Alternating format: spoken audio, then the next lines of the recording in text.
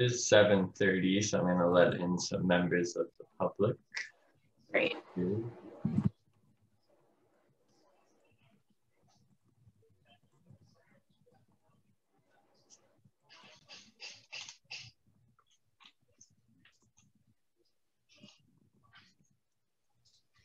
John.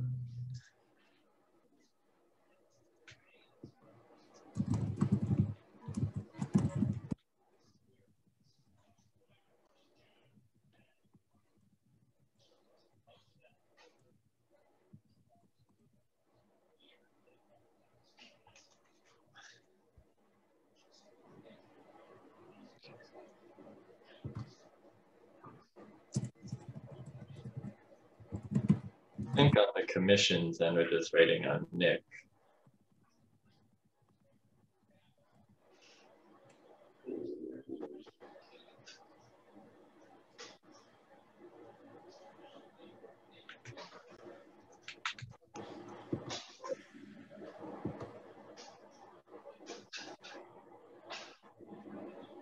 Can wait a few minutes.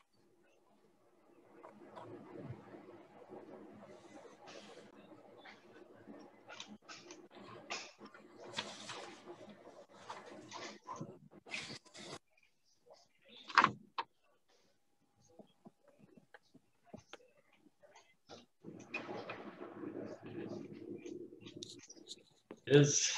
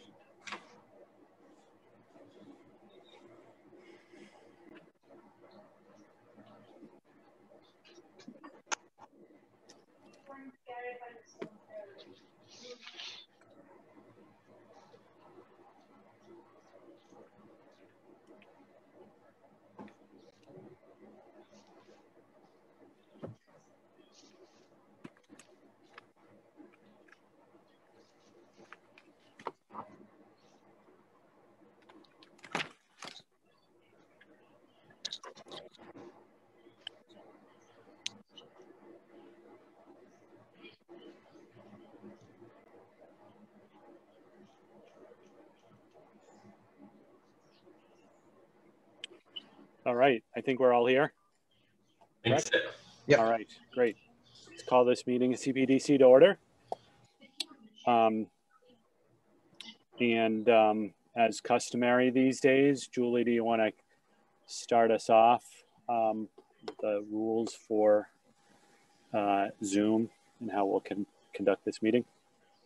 Yeah, sure. Hi, everybody. Um, tonight's meeting is the CPDC meeting of Monday, July 12th. Um, it is being recorded by RCTV and over Zoom. Um, from staff, there's me, Julie Mercier, Community Development Director, and Andrew McNichol, Staff Planner. From the Commission, we have Chair John Weston, we have Nick Safina, Heather Clish, Pamela Adrian, and Tony D'Arezzo.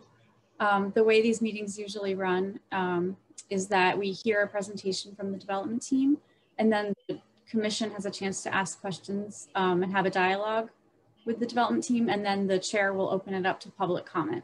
At the time that public comment happens, if you wish to, to speak, you can either raise your hand like this, or you can use the raise hand feature in Zoom. Um, and when you're acknowledged, please state your name and address for the record. Um, that's helpful to us. And then in the meantime, anyone who's not talking, please stay muted so everyone else on the call can um, hear the person who is speaking. Um, and please refrain from using chat unless you're having a technical issue and you want to chat me directly. Um, thank you. Thank you, Julie. Um, so the first item on our agenda is a continued public hearing for 40R plan review at 18 Woburn Street.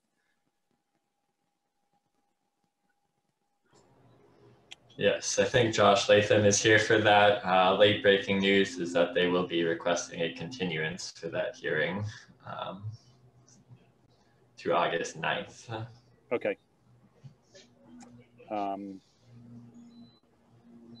so, um, Sorry, I can share that request on screen. I have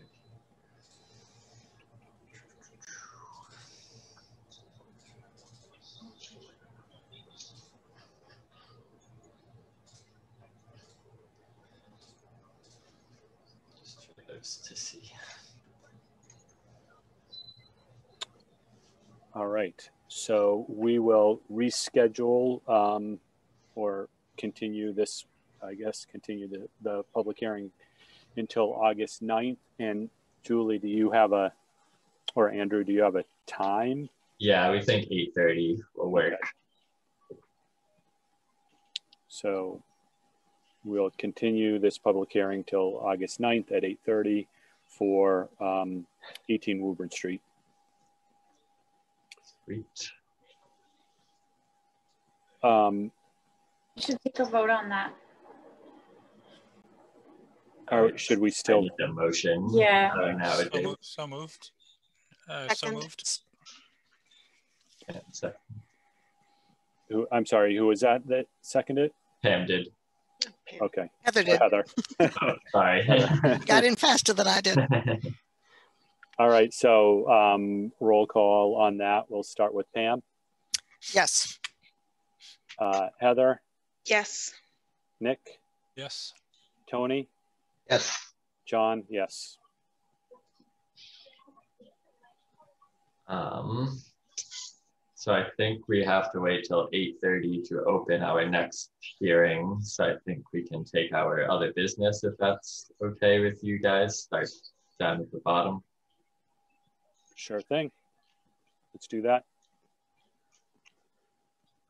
Um, so, Andrew, any specific order here, or just start from start from the top with Grandview Road subdivision? I think we can start at the top. Yeah. Okay. Uh, so I believe Adam Goncalves and Giovanni Fedora, project engineer, are present for the uh, definitive subdivision plan endorsement. Uh, short summary is they have met the conditions outlined in our decision to um, have the plan voted for endorsement, which were some minor plan adjustments that included some language changes to the stormwater report as well as some uh, minor dimensions added to some additional plan sheets. And they also have provided proof of ownership for the project. Um, so they've virtually met all our conditions to do the endorsement, but of course the board can discuss. And Adam, please add any. Uh, That's perfect. Thank you so much. Um, I think we are all set to proceed. Actually, I've been working with uh, Josh uh, with uh, Penny Jean, so I think we're in great shape. Uh, just looking for the board's uh, approval. Any thoughts? Okay, great. Um, so, Andrew, do can you do you have a site the um, site plan of that just so that we Yes, pulling that up right now.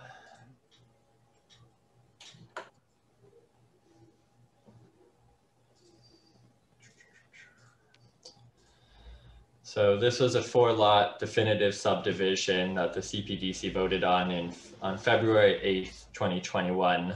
Um, in the meantime, since then, the engineer has been working with conservation as there is were some minor changes here around the buffer zone uh, where some blueberry, where some bushes, I think, are replacing uh, what were uh, berms and small vegetation. So he's been working with the conservation administrator on some plantings up in this area. And then we also requested that uh, utility lights and utility poles be added back to the plans because they were removed. Uh, so they've added one back to the intersection here and another on the cul-de-sac and as we get that request a lot after the fact uh, so we wanted to make sure that those were maintained and that was about it for changes to the plan set. And then they've added some dimensions across here for the cul-de-sac width. Okay. Any questions from the board? Uh, Yes, I still see the name Penny Lane on the drawings. I didn't know if they had made a request of the town to change Grandview to Penny Lane or not.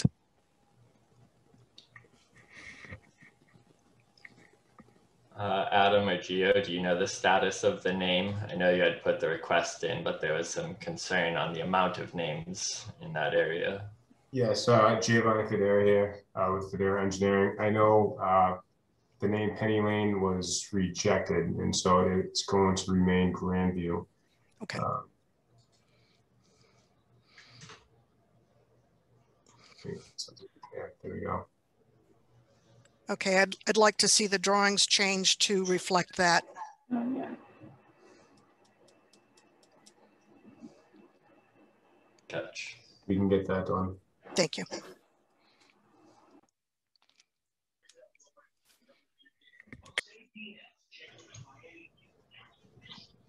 Any other questions or comments? I can't find it right now, but I know one of the pages said that the town will provide a uh, easement for the slope. And the question is, has the town provided that yet, or uh, is it still in, in the works?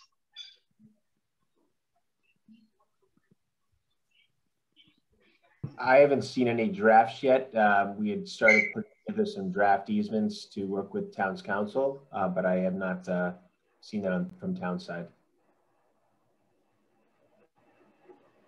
The easement has not been finalized yet, Tony.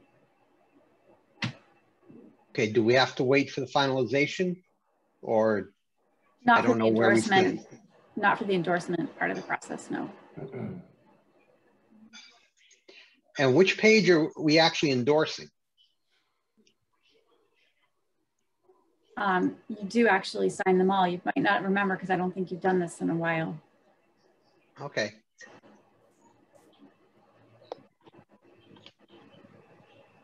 And, and just to be clear, I mean, I see, I see obviously the name Penny Lane subdivision, uh, but it is the Grandview Road extension. Um, if that is um, somewhere else in the plans, if you could just point that out, I'm not, not, uh, not seeing that on my side. I just happened to see it. Um, it's on page four. It says the road is labeled Grandview Road. I can see Pam Pam's point of having Yep. it consistent from the title, but I just did happen to see it there. Oh, it was just a Penny Page Lane one. subdivision. It was just It's on a page homage. three, it's on page four, it's on page five, it's on page six, seven, eight, nine, ten, and eleven. Yep, All of those. Okay. Oh yeah, there's Penny Lane right there. Yeah, I see. everywhere. Yeah.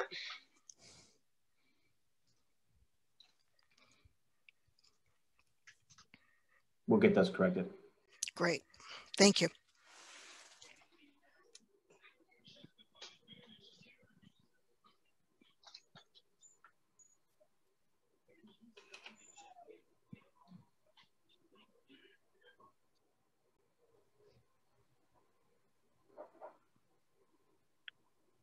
Other questions or comments?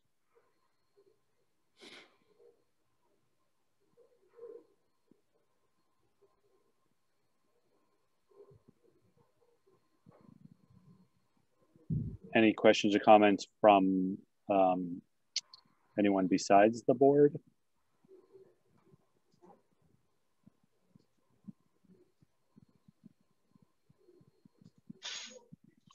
No? All right.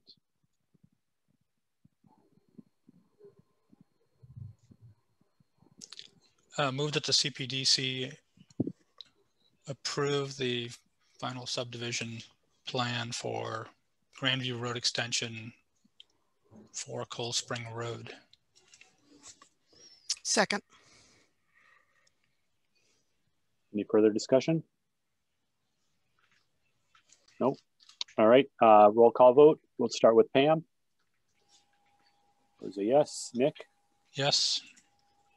Heather, Yes. Tony,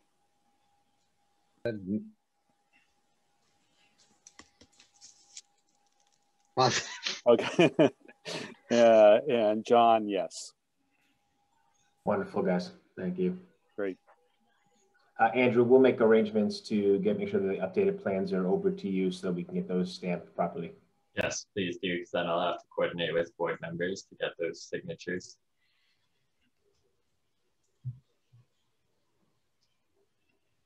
Great. Thank you. Thank you. Thanks, guys. Appreciate everyone's help. All right. Good luck. Um, so next item, um, uh, uh, approval not required plan endorsement for 17 Longview Road. Andrew, do you want me to screen share this one? Uh, if you don't mind, um, Josh Latham is also here on behalf of that. You might be able to as well. I can do it for right now. Okay.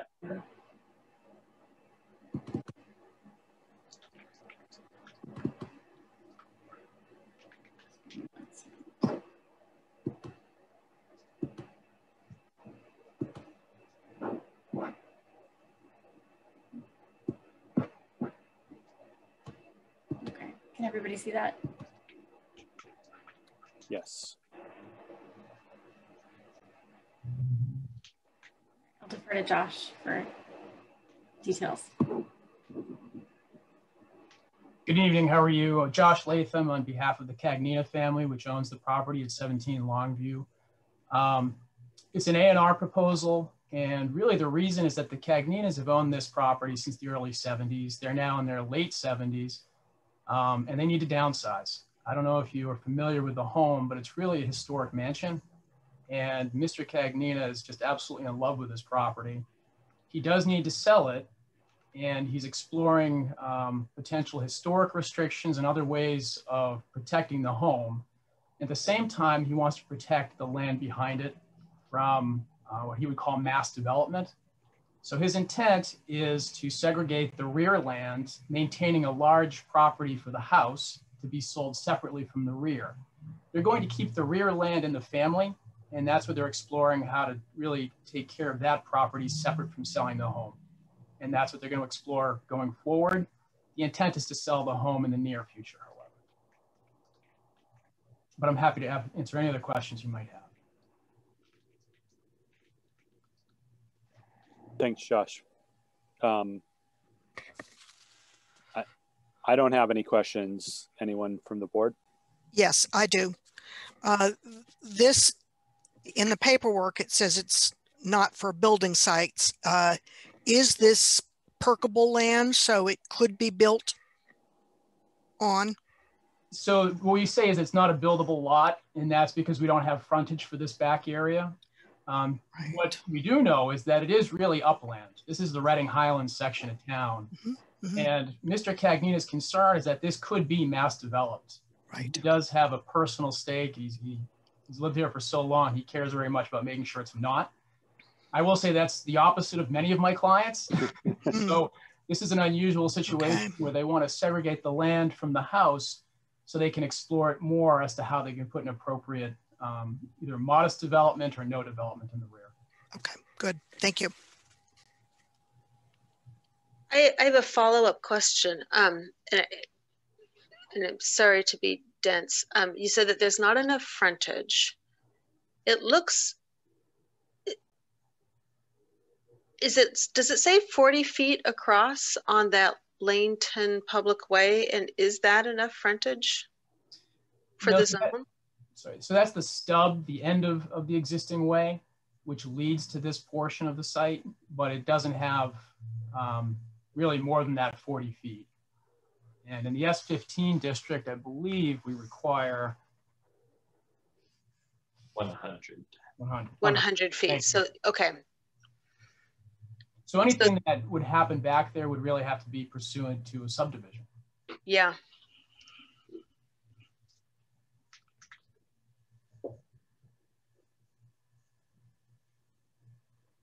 Oh, there's the frontage, I see.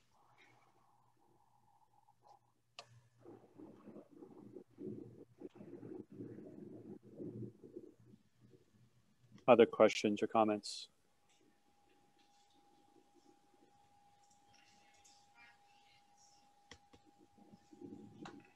No.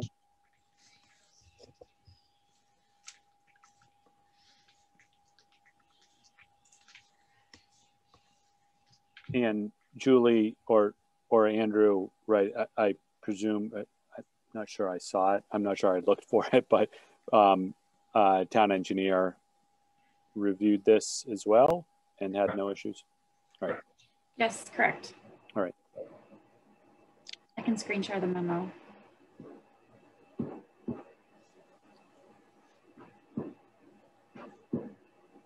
Here's my settings.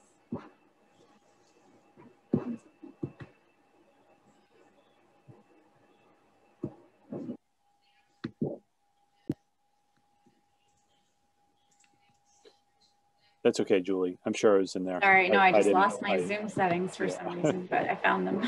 oh, okay. Um,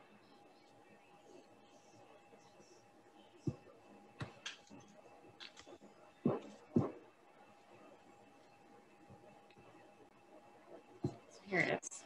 All right. Move that the CPDC endorse the approval not required plan for 17 Longview Road. Second. All right, um, roll call vote. Um, Pam? Yes. Heather? Yes. Tony? Yes. Nick? Yes. John? Yes. Thank you very much. All right, thank you.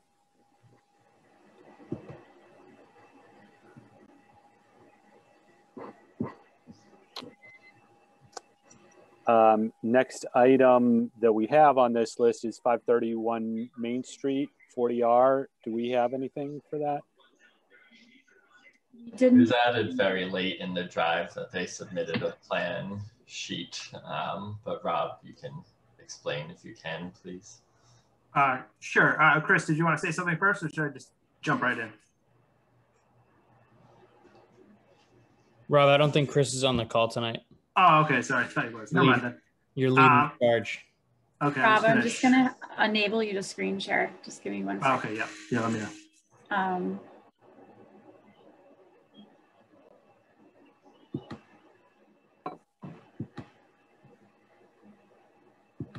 okay, you should be able to screen share now.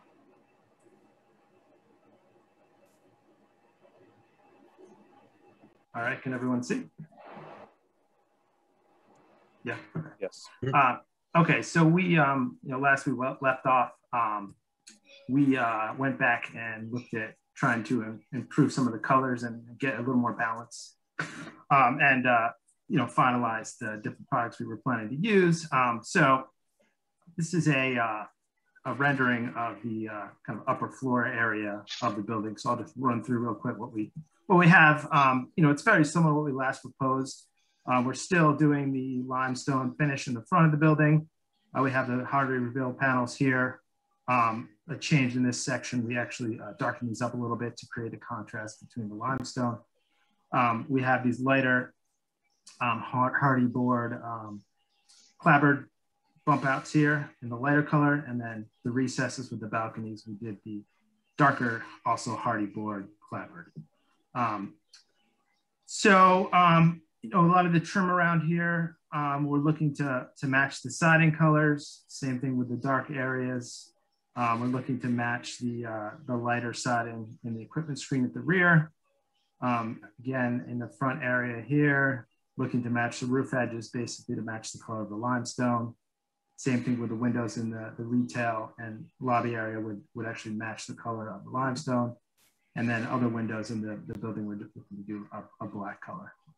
Um, and just to kind of zoom in on here, just showing uh, more of a close-up of the front of the, uh, the building. Um, so yeah, our big, our big focus in, in, this exercise was to try to create contrast between this upper residential area and then the lower retail. Um, so uh, just to kind of highlight some of the main materials, this brick color, which you can see uh, on this lower band here, uh, the uh, garage level. Uh, uh, we look to match the uh, building adjacent to the property where the laundromat is located. So we do on that for some inspiration. Just using standard limestone um, color for the front and then the black for the windows. And then these are some samples of the Hardie board from the Hardie board website. Um, so, you know, you notice in the rendering on the white color work, we're much more in this range on, uh, on this particular sample as they showed a, a, a fully shaded uh, sample. Um, and then lastly, we just did a couple renderings of, uh, you know, the, the different angles that we had presented previously, uh, just to, to have as reference. But, you know, this is kind of the main close-up of, of what the colors are going to be.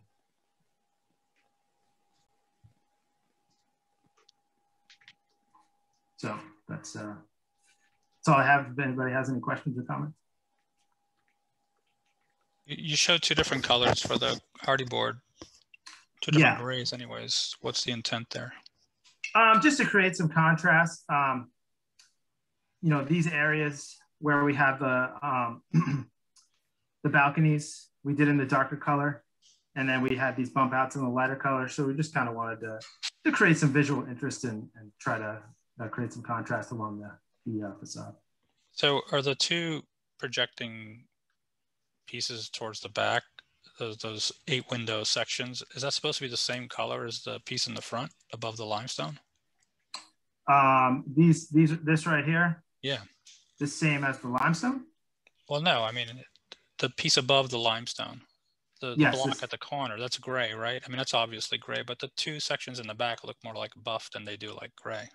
These two sections right here, yeah, these are more of a, a, a lighter color. Yeah. Well, no, you're not answering my question. So you've got two two colors of gray clapboard siding. Are the three main blocks the same color? Because the rendering shows me three different colors or two different colors. Yeah, this is this is a, a, a call it a medium gray. There's a dark darker panel in the recesses, and then a lighter color on these bump outs. Okay, so the Exact- front piece is the panel system and the two pieces in the back is the clapboards. Exactly. Yeah. All right. And what happens around the corner Um, on the east side? so this is that darker color comes around, and then you have these lighter. These are those lighter bump outs, and then this is that stair area, so that has the lighter color as well.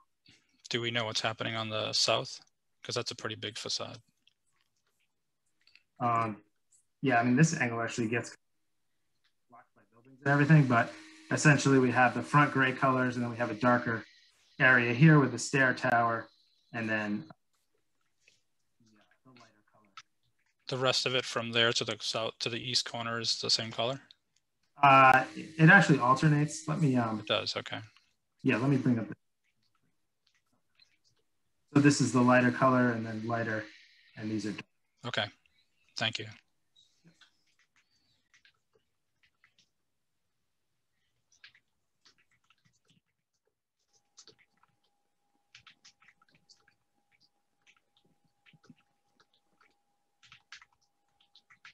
Did you actually deliver any physical samples to Julie and Andrew? No, we don't, but I I have them, so I can I can get them to her.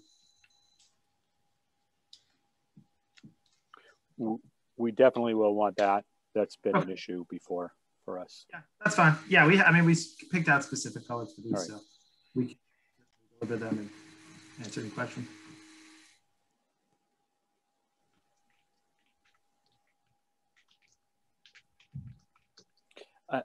I- guess I, I I'll say that, you, um, you know, with the, um, you know, it'll be nice on the on the the the front and the bottom with a natural stone, right? That's actual limestone, right? Yeah. So um, even though that's not right, limestone is sort of um, doesn't have a lot of um, texture or interest, it'll be nice because you'll know you know it's it's natural. But to me, the combination of that sort of um, um, uh, not exciting, right? Natural, plus the a gray panel with not a whole lot of um, um, uh, uh, detail there. I mean, it's really um, I don't know. It, it's really kind of bland, right? You've got a a, a, a light sort of um, I, I don't want to call limestone dull, but it's it's a dull dull rock color, right? Natural color, Mhm. and then you've Yeah. got gray panels that don't have, you know, they're just gray panels, right? And then you know flat windows and not much up at the top. Um, you know, it looks it it looks very um, boxy, dull, I guess. Um, if I could though, um, if somebody could call up the um, the building at Green and Main that just went up recently, I think it's the same panel system, right? It's the same Hardie plank. I believe so. yes. And so I think you can see the joints better in the real photo from street view than you can from this rendering. Because I'm assuming you're going to have about, about a half inch joint between Yeah, the so. panels. Yeah, yeah. Yeah, so there'll be, The, uh, the rendering's kind of trying to fake that, right? But if you look at a picture of that Mhm. building at Main and Green, I think you'll get a better sense for what the system looks Okay. like. I don't know if anybody can call that up.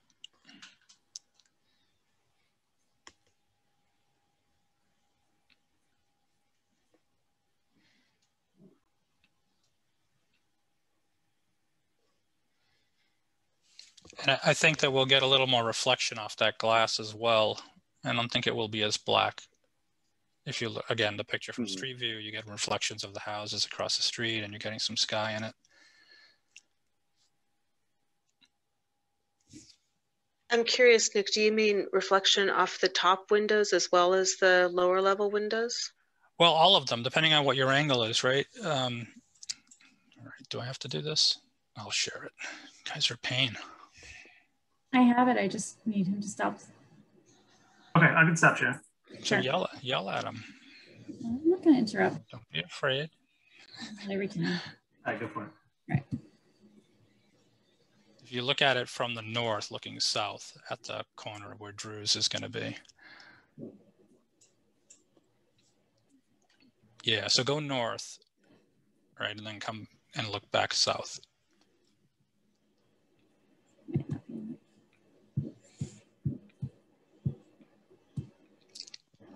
Right, so that that's really more what the glass is going to do. hmm Um, and then you can see the panels. You can see that there's a definite joint system in there. It's not just this big plant thing. I think that's a more realistic look at it. Now, you, you may still not like that big mass up there, and that's good. You can talk about that, but this is more what the panel system should Gotcha. like. Yeah. Well, I, I guess my my point here is in right. Is this my? Oh, yeah, yeah. Um, is in this just in this image, right? You've got that panel system, which is great because it has the right. I, I see what you're saying, Nick, with um, with um, with the joints and the windows pop a little bit more because it's no, not so black. But you've also got a lot of different contrast here with the the brick, which has you know sort of natural interest because of the variations and the you know and the the joints, and then you know the windows and the the black panels around the windows. And I guess I don't you know it may be the the rendering and it may not be, but you know limestone there's not a whole lot of interest there. The the panels not a whole lot of interest. It's it uh, you know there's not to, to me when i look at that other rendering there's you know there's nothing that he he's that they're doing with color that um, that adds any more interest right? It's tan and gray and black um, and i don't know. I i may be off base here. It's not not my thing but I mean, the cornice is kind of heavy and it sort of sets this table and then the big block sits on top of it. If the cornice broke up maybe, or if, if the top block came down into the limestone, or the Hmm. limestone went up into the block, right?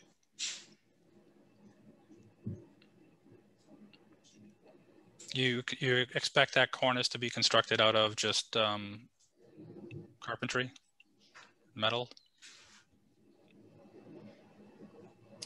Can you pull it back up, Rob?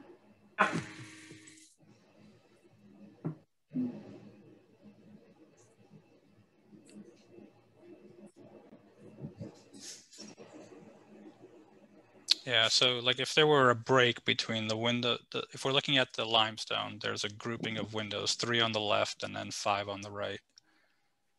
If the that that cornice might just be too heavy, might project out too much. It, it's probably going to be something simpler. But if there were a break that came back down, so that the so that the top block integrated more with it rather than just sat on top of it potentially as in this this coming down. Mm-hmm. Yeah, mm-hmm. maybe not all the way down, you know, but mm-hmm. somehow so that they started to integrate. And I think if the I think you'll probably find it'll be easier to construct that cornice if it wasn't so large. Um, so that might help to sort of integrate the two pieces as well. Yeah, I mean, I see what you're saying here. It does get um, similar articulation um, as a, that other building. Um, yeah, you're, yeah, you're fading in and out it's a similar similar articulation from that other building. So, so no, I understand what you're saying. Yeah. Yep. If you did that there, and maybe the front, I can't really tell from the front from this angle, but potentially that just lets them. This is the front. In. Yeah, maybe not as much opportunity to do that there.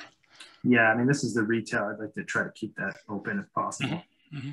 But you know what? If the if the cornice as it comes around the corner past the retail right before it gets to the chronicle uh, canopy if it's stepped back there potentially. Yeah, so don't have it extend out over here really. Yeah, like it comes across and then it just sort of steps back and it's more just maybe a small projection off of the wall that might help pull yeah. that back in. yeah, okay. Take a look at that.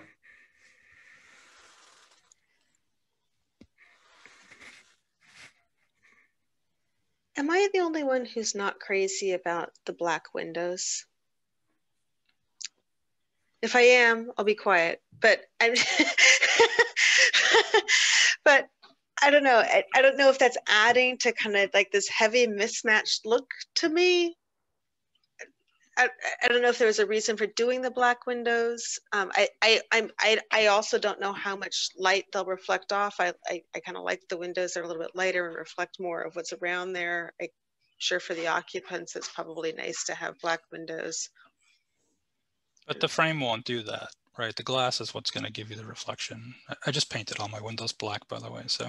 Oh no! I mean, I like I like the black frame. Are these windows? And I thought I was understanding that he meant the the glass was intended to be dark glass. Am I misinterpreting? No, no, the glass wouldn't be dark. It's, it's just uh, okay, the way the, the, rendering is picking it up. And, you know, the, the glass will, in, in reality, reflect like we saw in the, the, the image of the other building. Okay, that's what I'm looking for. I I yeah, like black. Last week. I get I get that. Okay. Thanks. Mm -hmm. And am I right in seeing that the rest of this building does not have a cornice on the top? If you go further down that block? Yes, this is, we just put a cornice up, up here to kind of accent this, this massing, but the rest of the building would not. Not a big cornice, but you do have to trim that out. The, yep. I think we've had a few, a few chances where they tried to not trim it out and it didn't work. I don't think it works. Yep. You say trim and roof edge, so I think you have it already capped. Yeah, there's some art. Okay. Yeah. And I, I, I think this this particular snippet does a little bit of a dis disservice, right? Because these two stories sit on top of a, a brick story below right. it, right? And so it's not it. as I, I get that this this is not as boxy as it may appear, you know, um, or this looks more boxy than it may appear in real life once once you have that brick base um, at the first floor. Yeah. Okay. Yeah. Right. Yeah. I kind of zoomed in here to kind of yeah. capture everything which makes sense. It's good, but I just right trying to put it all together. Mm-hmm. Okay, works for me. Other questions or comments?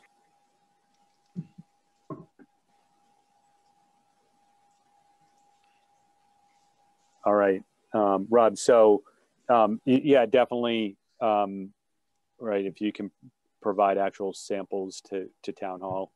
Mm -hmm. sure.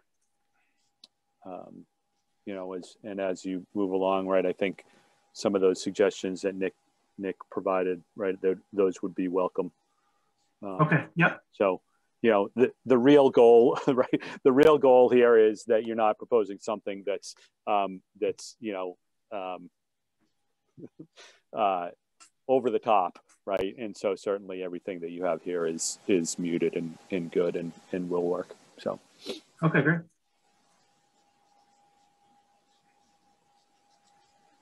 Great, thank you. Sure. Do you guys want to vote to like accept the materials and colors presented? Um, I, Julie, I'm hesitant. I'm hesitant to do that because, right, we um, uh, we just see them on a on a screen. Um, I, um, and we've been down that road before. Why can't we just note that the materials are in keeping with the, you know, the, the general intent that we've discussed throughout the process?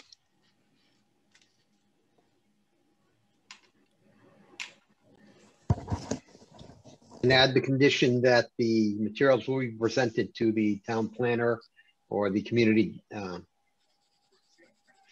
community development director. I keep forgetting your actual title, Julie.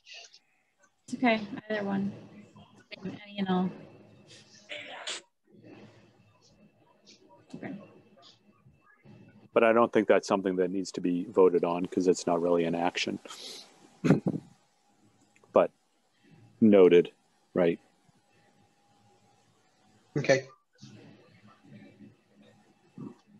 Great, thank you. Um, so looking at, let's see, it's 812. Looking at our agenda, we want to um, discuss commission reorg and the um, park committee towards the end of the meeting. Um,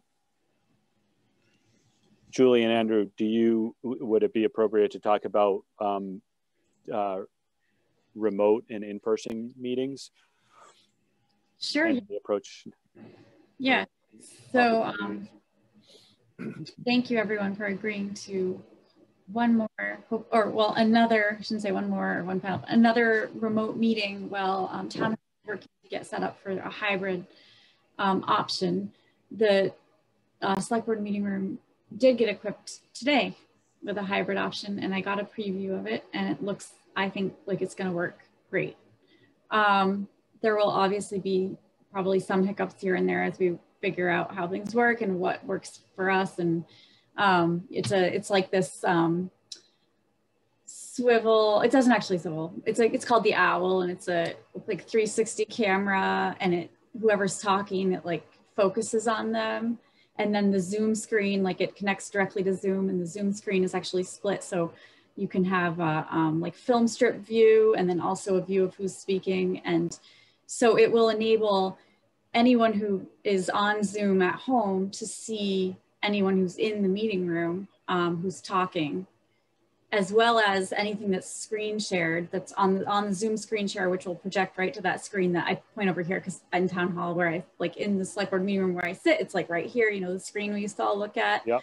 Um, and then also anyone who's in the meeting will be able to see um, on that screen someone who's home who wants to speak um, or someone like an applicant who's presenting. Um, so I, I, think it's going to work out. Um, I was very excited by it. Um, and it doesn't seem like it's going to be a huge like technology lift for staff to like figure out because it's kind of working with the, what we already are do like are used to doing. Um, so that said, I think that you could definitely count on doing hybrid meetings, um, you know, starting your next meeting, which is August 9th, um, if that's something you're interested in.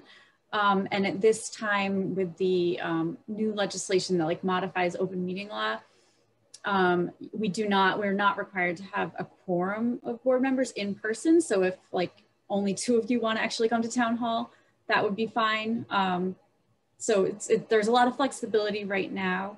and that legislation extends until April 1st, 2022. So, um, and then at that time, I'm hoping like open meeting law is like amended, like in real, for real, um, so we can continue what we're doing. But um, I don't know what's in the cards for that.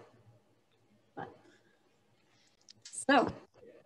And the fact that somebody could present from remote, right? That just makes um, professional services so much more accessible to everyone, right? Because mm -hmm. they don't have to pay the kind of fees that are required for somebody to travel and sit in a meeting, and and so you you might get better submittals, better applications, you know, better developed plans than you would from some scribble that you know some poor business owners trying to get together. That's great, and I also we've I've seen it in many facets of my day job realm where allowing members of the public to also participate from home probably makes it a lot easier for a lot more people to, to be engaged.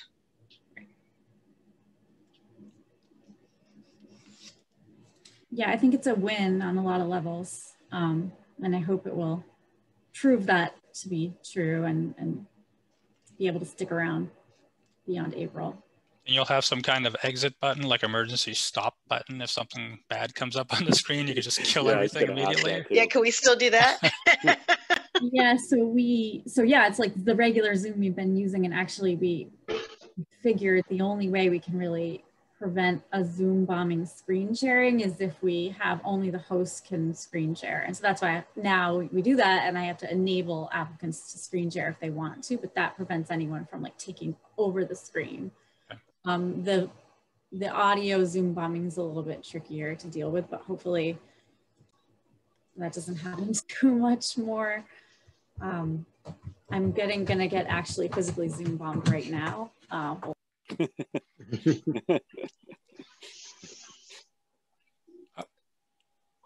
that hair.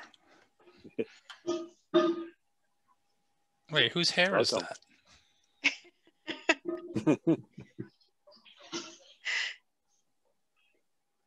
That's great.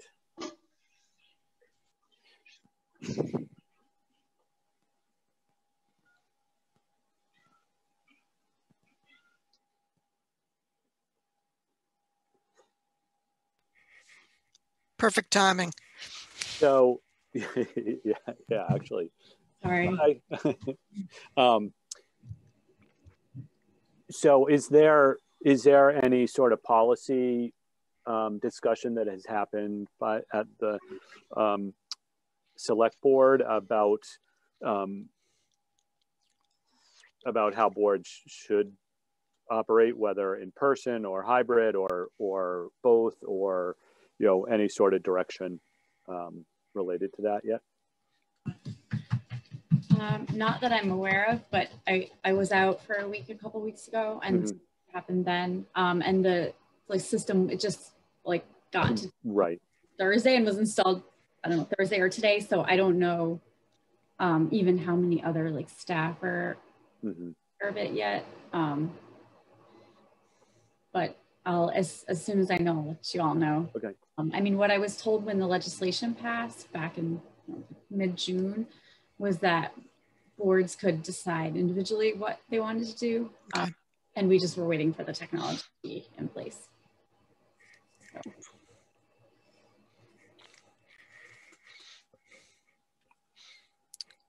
Cool.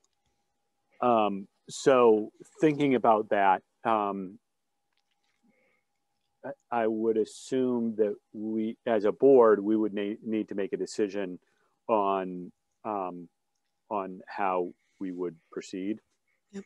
Um, you know, the top of my head, you know, right i think we all we we would need to agree and i guess the question is you know when new board like how often does this um, do we do we need to confirm our our approach here but um, you know i assume right that the options there are a couple of options right? Um, everyone's in person everyone's remote or hybrid right? We need to agree you know just not assume um, on that. Um, uh, but the other thing i think that's probably more um, maybe more important uh, just in terms of logistics is like are, are we going to set up any sort of guidelines or rules of like how many people should be, you know, if, if, um, um, well, there doesn't necessarily, right, as Julie said, there doesn't necessarily need to be um, uh, quorum in person, but I mean, just in terms of like, do you, is it like when do you need to decide what you're doing, and could it be at you know six fifty five? Like, oh, I'm going to go into town hall today, and right, i because I, I think right for for Julie and and Andrew, right, if if someone's going to be in town hall, then you need to be there, and right, there's some expectations of sort of what are we doing and and what's the plan um, and it doesn't right i don't think it needs to be set up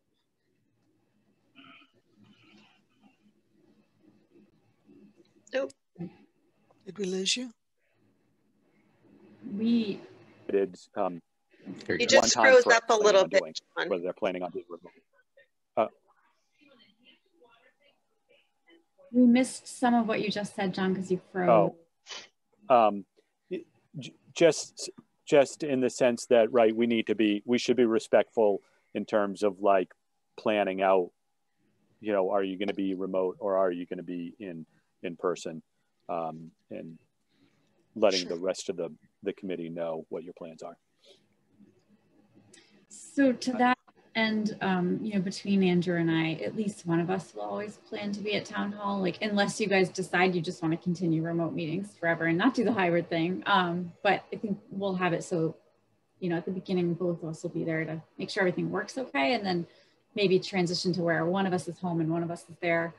Um, so you could have flexibility. You obviously, the more notice you give us, the better. But um, you could have flexibility to change your mind. It probably wouldn't be a huge deal um, for us. I haven't really thought that through that much. Mm-hmm. so. Julie, wouldn't you have to um, announce the meeting as to how it's being held? Yeah, so we would post it, like we would advertise it both ways. Um, you know, and then uh, do our opening remarks over over Zoom for everybody who's you know on Zoom and um, yeah, be a little blend of both worlds, I guess. So for the next, I don't know, few months, should we try?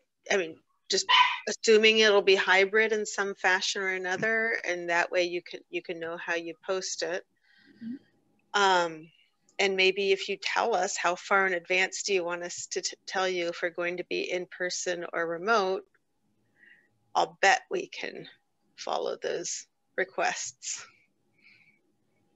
Yeah. Okay. Um, you know I, I, I uh, I'm just imagining that, you know, what we would be awkward, I'll put it that way, is right if if Andrew shows up to town hall and Andrew's the only one, and then you know the board all decides to be remote, but then 15 people from the public show up um, to you know to be there Difficult. in person.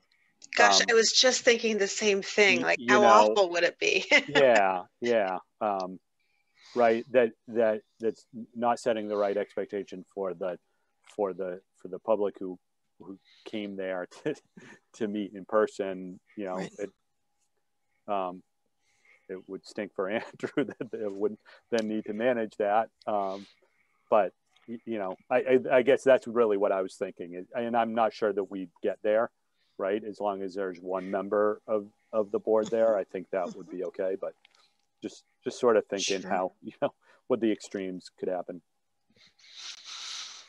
Good thinking.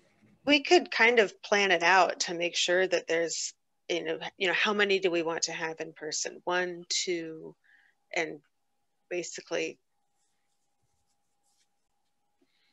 take take those shifts and make sure that we've got at least a, a, a certain minimum number of people in person um, depending on what yeah. perhaps our other schedules are. Yeah. Right. I think that's reasonable. There had also been talk about setting up other rooms other than the uh, select board meeting room. Uh, that way there'd be more room and people could spread out some more. I assume right now just the select board room and what I'll call the uh, finance committee room next door are the only ones set up. They have actually different setups, um, and I've used both. And the one in the select board meeting room, from my my opinion, is I haven't used different actual meeting, so I don't know. But I think it's going to be more flexible and give us a little bit more of what we need. Um, I think having the two rooms, like they're not on the same system. So for the requirement that like people who are attending the meeting be able to hear everyone who's speaking and, and that piece, like, I don't think has really been contemplated yet. Like if, like, I don't think they've contemplated like that the conference room could be like an overflow room for the select board room and that everyone would still be visible on the same Zoom screen. Mm -hmm. Um, do you know what I mean? Yeah, I know. Yeah, exactly. So if too many people from the public show up for the select board meeting room, there's no overflow to the other room. And that would be a question of, well, what do you do with people? Do you uh, force them to go home? Do you just cram them in as best you can? Like the good old days? Mm -hmm. I don't know about you, but that's making me feel a little gross.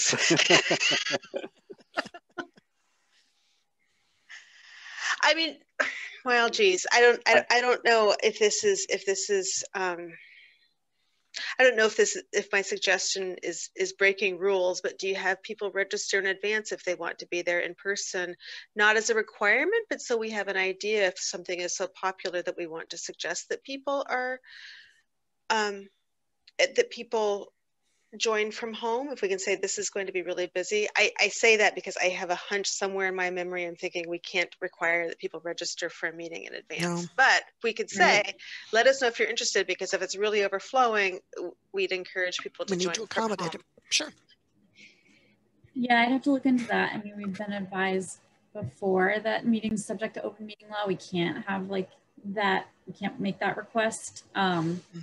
but like maybe there's some way to do it but more like what you suggested, Heather. Yeah, like voluntarily. Well, the select board does it. They require anybody who would like to speak up to register, I want to say 24 hours in advance. Wow. But yeah, and this, but the select board also doesn't have participation yet. I think maybe it's changed. Doesn't have partic- in-person particip- public participation in their meetings. Am I right about that? Is that changed? I believe that's still correct. Yeah, they did something kind of different, I guess, I think fairly unique um, this whole past pandemic period. Um, I'm not exactly sure um, how that was, how that came to be. Um, I guess, I guess to me, the question, Julie, will be, is um, this system is being has been put in at town hall is there someplace else in the community that a similar system is going to be installed that has a bigger capacity right because there's no reason that you know there's nothing to say that we have to hold our meetings in you know in in the town hall, town hall.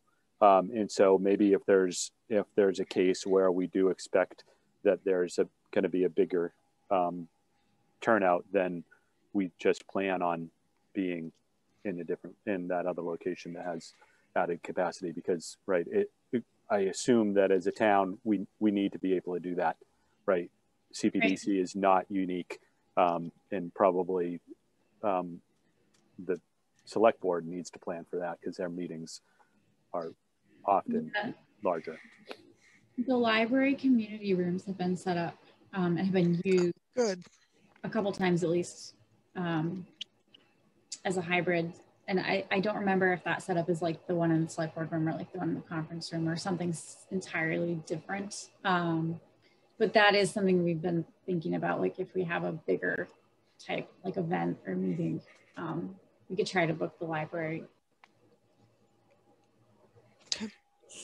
So um, I'm going to suggest, right, this is as a, as a, um, uh, as a board that, um, and maybe we vote on it, but um, um, my recommendation would be that at least, you know, for the next, uh, I'm thinking, you know, six, let's plan ahead for the next six meetings, um, that those are, um, uh, that we attempt to do those hybrid. Um, and, and inform Julie, you know, if you're going to be in person or Andrew, if you're going to be in person there or, or if you're going to do it um, do it remotely, just you know, well enough in advance so that so that they're aware of what our plans are.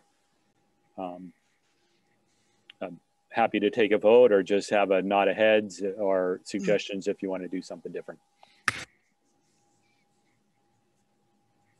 No, I think that sounds like a plan. Thumbs up for Heather. Tony? Yeah, it doesn't matter to me. I can be there and back in five minutes. Yeah. right, same. Nick, sound reasonable? Yep. All right. Great. So Thank that's you. where we'll start and then see where it goes from there, right?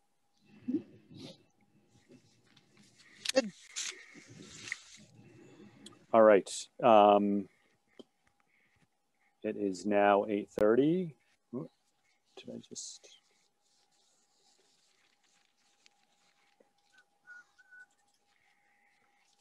Sorry. Um, and so I think we can move on to our um, next agenda item, with, which is a continued public hearing for a site plan review at 160 Hopkins Street, Gazebo Circle Pump Station.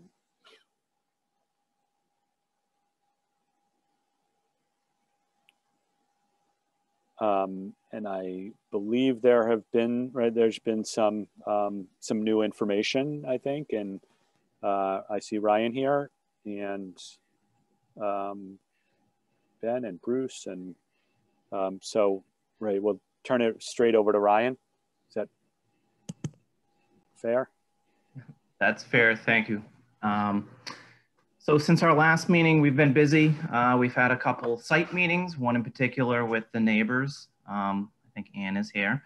And uh, we met with Chuck as well, Chuck Webley um, from the neighborhood uh, with Weston and Sampson and um, Andrew was there as well.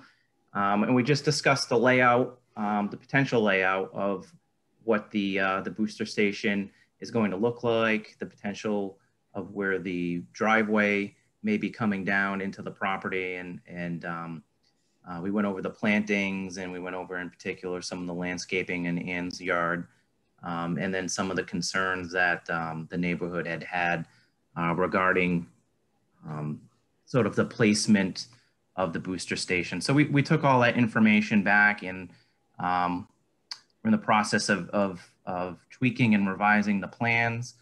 Um, I also did meet with um, two of the trustees, one in particular on a site meeting um, from Gazebo Circle to discuss a potential of uh, having the driveway come off of Gazebo Circle. Uh, we have yet to really get into that discussion as to whether or not that would be acceptable, um, but we have been playing around with some con conceptual ideas of what that may look like if that's a possibility. That was one of the um, ideas that the, the neighborhood had had. So we wanted to vet that out completely. Um, and so we did that by meeting with the trustees and uh, they've been great. Uh, outside of that, the biggest development that we've had uh, internally, um, and, and, really this has been a, uh, a big effort on, on Julie's part and her staff. And I know uh, a lot of my staff has contributed to the information, but we did look at the restrictions or potential restrictions that um, this parcel may or may not have had. And I can really let Julie get into that if she wants to at some point, but um, it was a lot of information and really what it what it came down to is there's no deed restrictions in particular to that property. What there is is a special permit and there's a con condition that was potentially tied to that parcel. Uh, and through digging through some of the information, we did come upon uh, a mutual release agreement and other information that that appears to have um, well town counsel is actually reviewing that right now so um, anything would be an opinion at this point, but it, it, it appears that um, it, it, never came to fruition and it doesn't look like the special permit um, is attached to the parcel anymore, but I can let Julie go into further detail. I don't really want to misspeak, but um, so that that's really where we are in a nutshell. Um, I can turn it over to one of one of someone from Weston Sampson, either Bruce or Ben, if they want to fill in if I missed anything. Um, I'm sure they have some more information to share. No, I, I think Ryan, you. Sorry, if anyone's interested in screen sharing, just let me know and I'll make you a co-host so you can do that. Thanks. Um, Ryan, I think you covered everything that um, that I can think of. We're, um, as far as our, our design, we're kind of in a holding pattern at this point. If the driveway switches to the other side of the building, that'll change a lot of what the layout within the building. So we're kind of holding off until that um, is settled. And then we'll finish the architectural because I know you wanted to see what the outside of the building would look like and rendering. So we don't have that yet because we haven't really started the, uh, or gotten into the architectural yet. So, um, but once we have an answer, we'll be able to pull that together pretty quickly. So that's where we sit with the design at this point. So pretty much about where we were at the last meeting.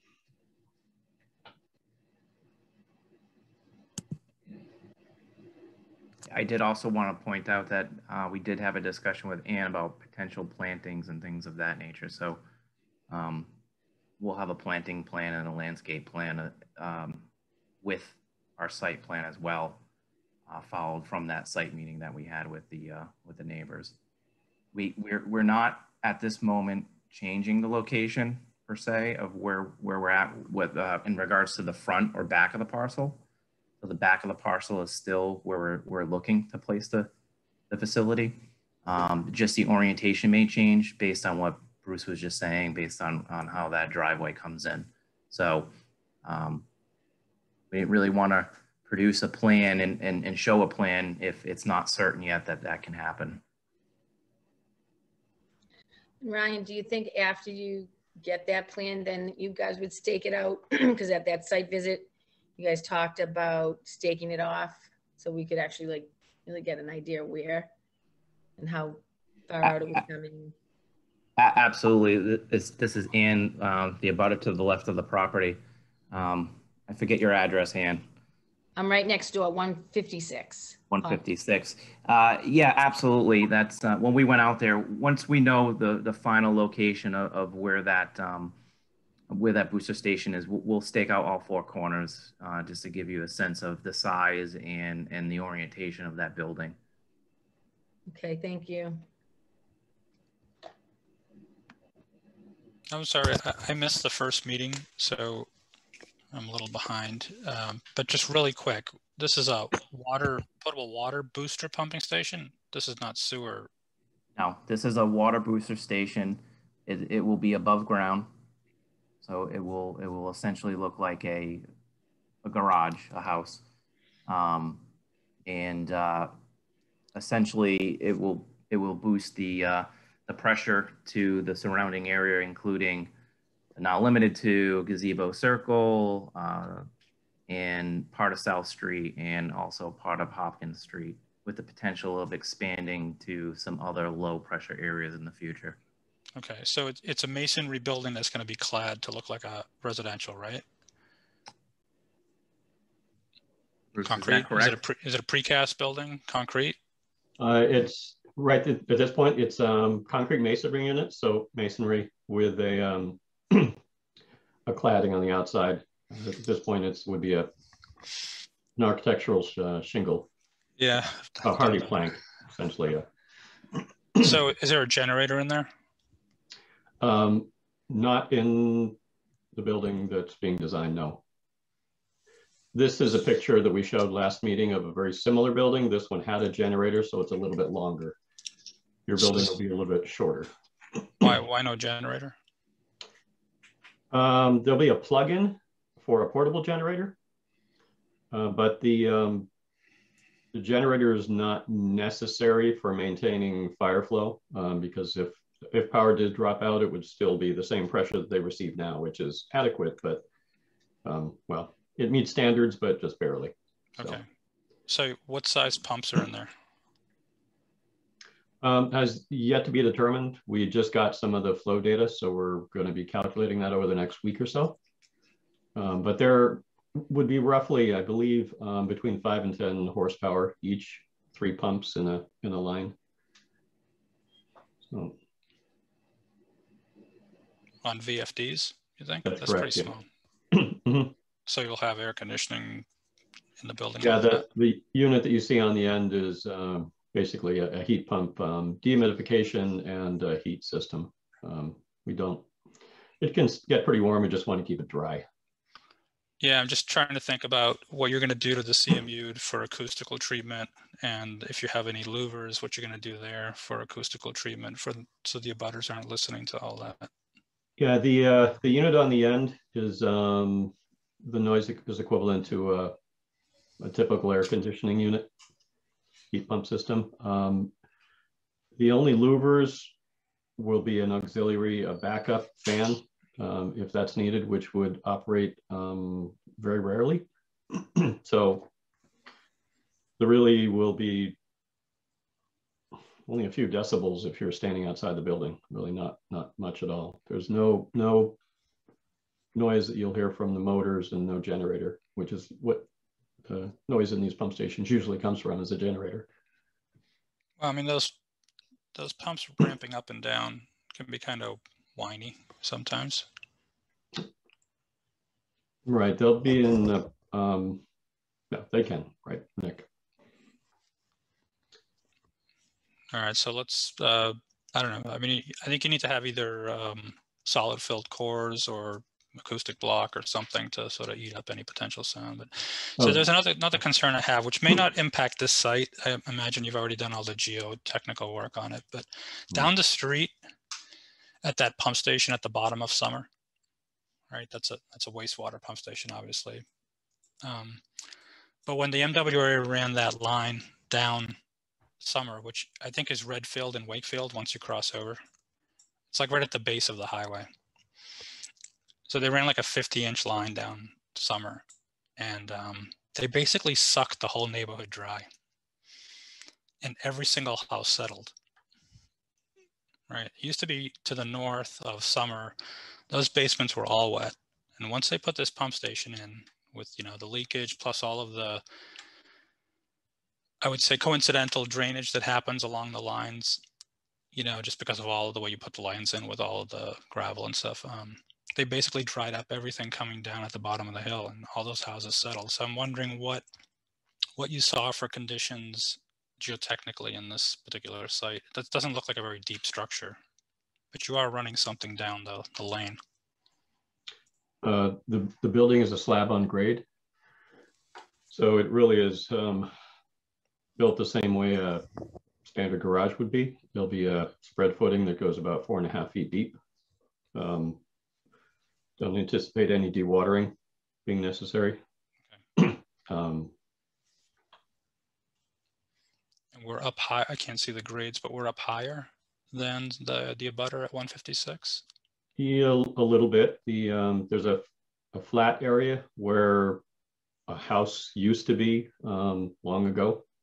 That was demolished when Gazebo Circle was built. Um, and it'll sit right there.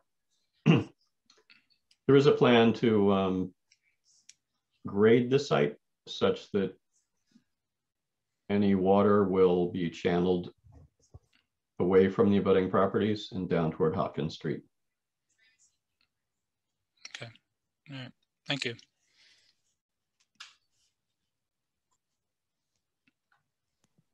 Nick, just just to add, um, the original proposed plan that you see here takes into account any stormwater uh, infiltration that we need to um, address on the site due to the driveway coming down. That was one of the concerns uh, that I had had, but also some of the concerns that um, the neighborhood had had. So that will be addressed. Um, if we do modify the driveway, we'll just change that design to capture whatever runoff we have. But that will subsequently, if we change the driveway, will really reduce the amount of impervious area that we're adding onto the site if that is um, possible for us to do. So why do you why do you need a plug-in generator if you never really need it for fire flow? I mean, if you never need the generator, why do you need a plug-in? So we uh, the town the town of Reading has a trail behind generator that we use on um, at some of our uh, sewer stations, and and actually some of the sewer stations that do have a permanent generator, we still have a an exterior means of of, of powering that in case it, it, we have a catastrophic failure um, and the generator goes down as well or something like that. But um, we already have the generator. It's easy enough for us to have a plug-in for a generator hookup. And so just for redundancy purposes, if we if we do have a potential fire in, in the structures in gazebo and we do need to have extra flow, uh, we can bring that generator down to boost that pressure and boost that flow. So. Because I mean, you know, the trail behind ones are noisier and smellier than one that you could install permanently.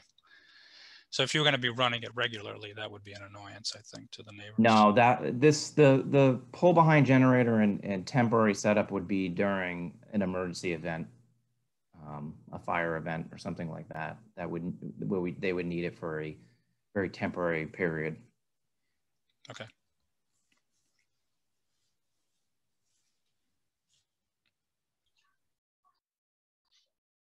Ryan, you mentioned potential future uh, recipients of the pressurized water.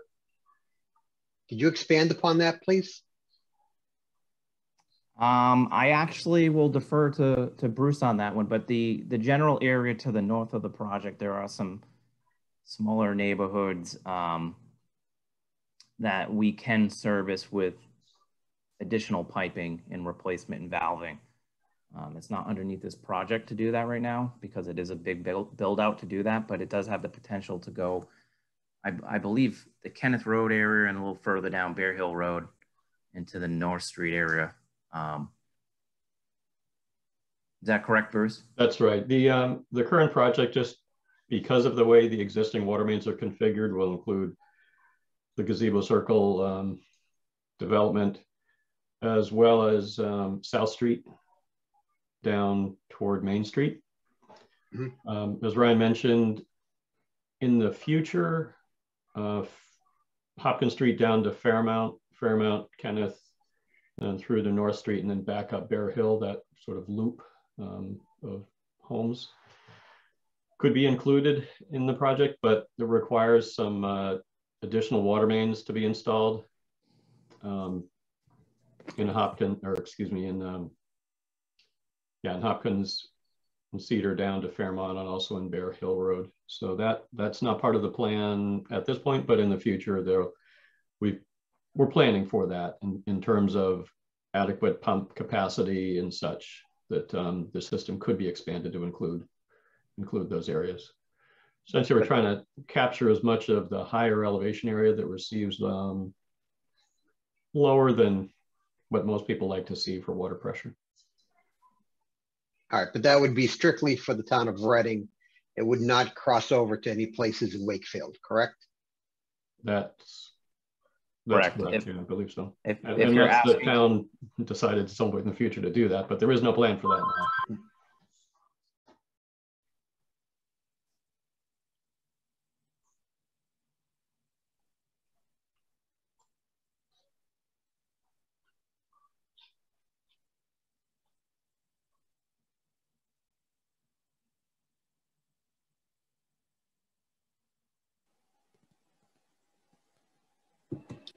You're muted.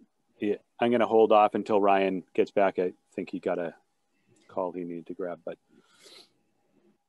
um, and uh, Julie, maybe you can you can answer this, right? I uh, um, my impression, right, on where we are with this is that there are, there are two sort of primary um, open issues here.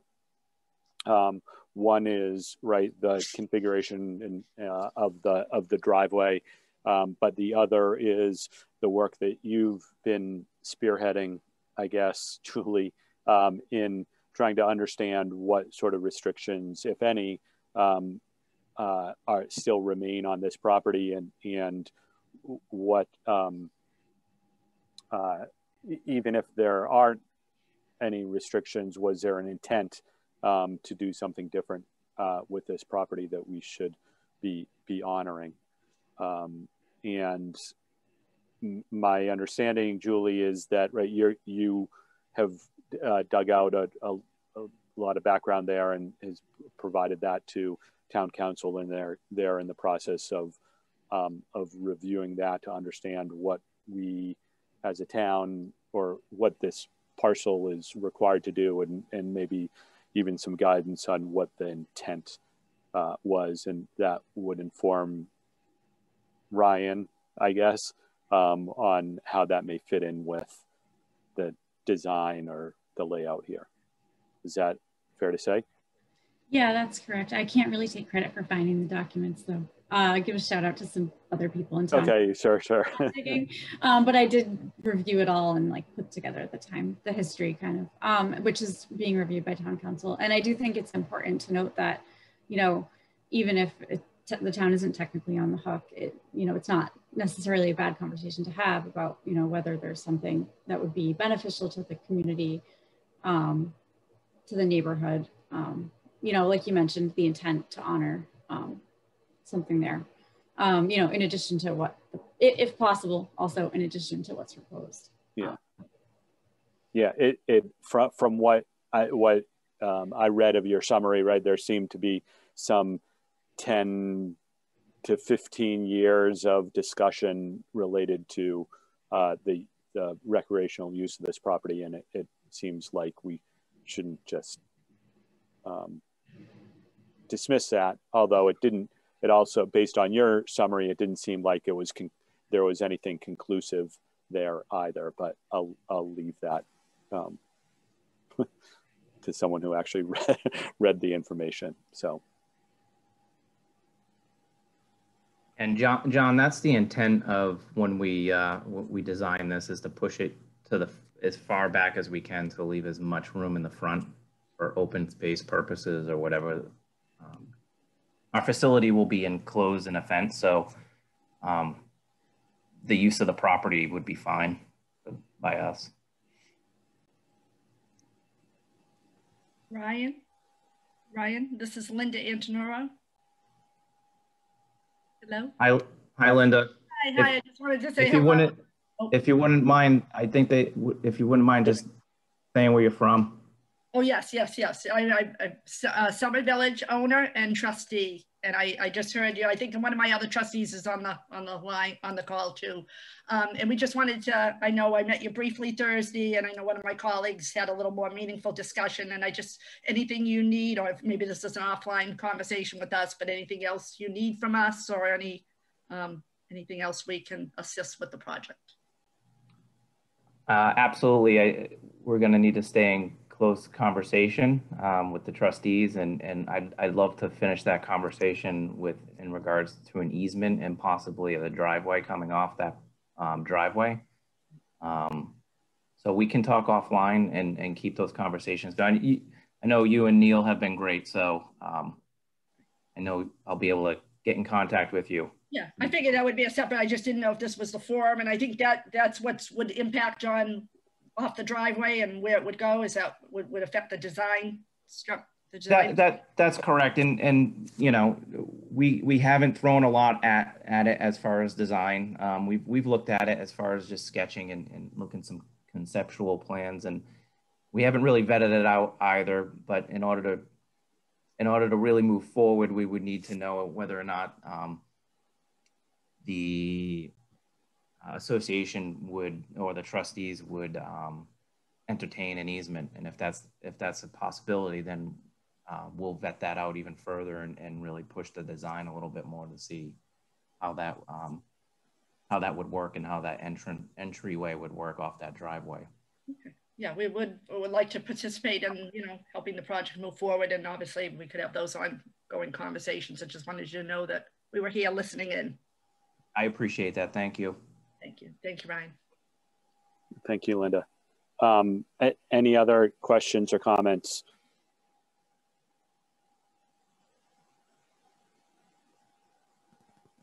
All right.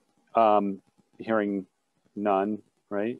Um, no one has their virtual hand up. Um, so, right, we'll we'll schedule this, continue this for a for a future meeting. Um, I guess my uh, Ryan, you you had to obviously had to jump out there for a second.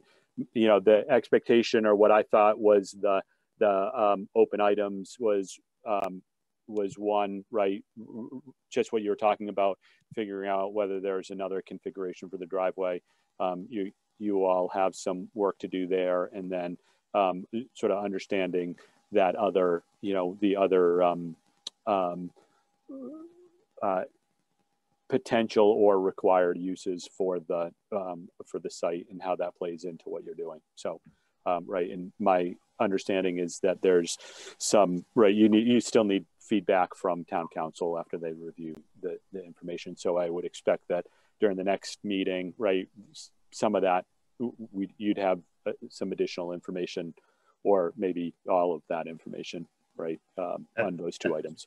Yeah that's that's correct. We have a meeting er, later this week and so um, hopeful that we'll have the answer at least on the town side and have a game plan moving forward so we can have a meaningful discussion about it on our next meeting.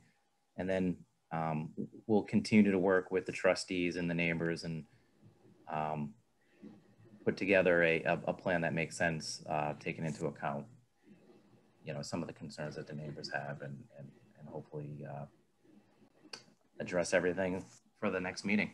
Great.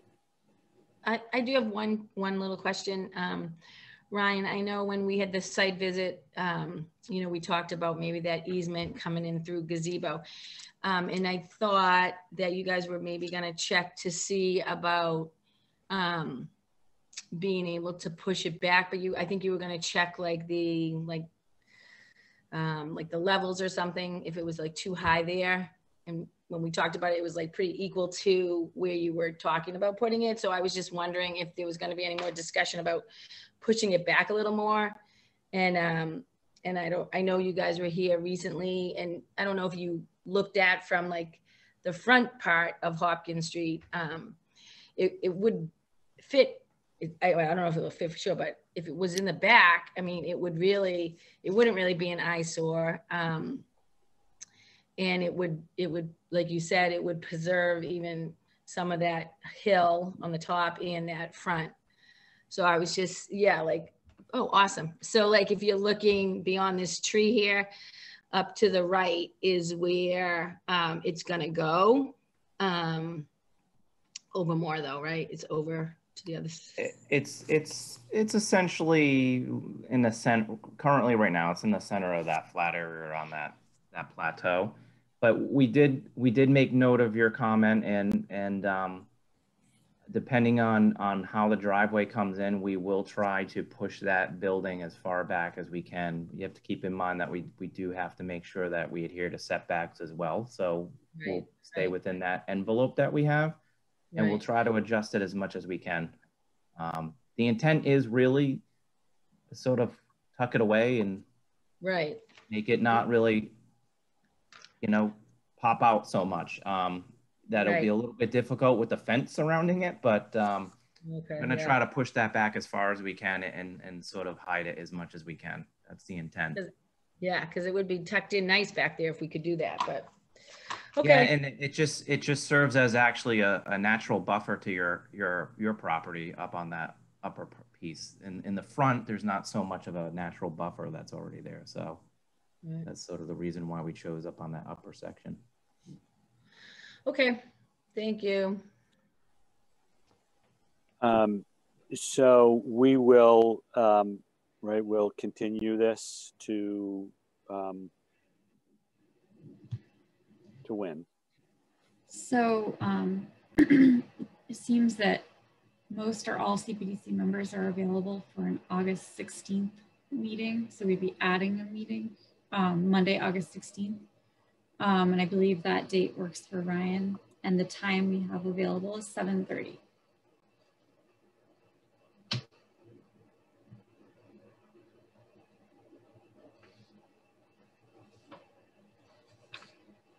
All right. Um, so did I hear someone make a motion to continue this to Monday, August 16th at 7:30? Second. Motion, All right, motion to continue to August 16th, 7:30. Second, all right. Um, we'll do a roll call vote, starting with Pam, yes. Heather, Yes. uh, Nick, Yes. Tony, Yes. John, yes. Okay. All right, thank you. Thank you. Thanks, Ryan. Thanks, guys. Thank you.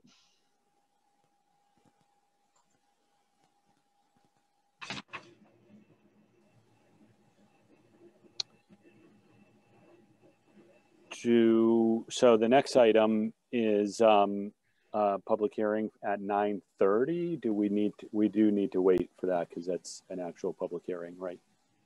Yep. Um, so we're moving too quickly. That's rare. You can never plan these things. I know it's hard. Um, I think are we um, meeting minutes? Is that where we're at? Or is there anything else that we There's should? the um, park and then also the reorg, if you wanted to do that. Um, Um,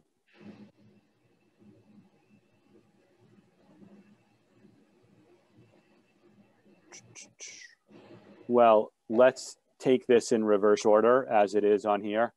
We'll do the meeting minutes and then um, and then talk about park and then reorg and see where that all gets us to to 9:30. Sounds good. I will share the 428 meeting minutes on screen. I believe we have three total sets um, for tonight, but um, I'll start at the top and work my way through them. But if anybody has comments and reads a little faster, please feel free to shout them out.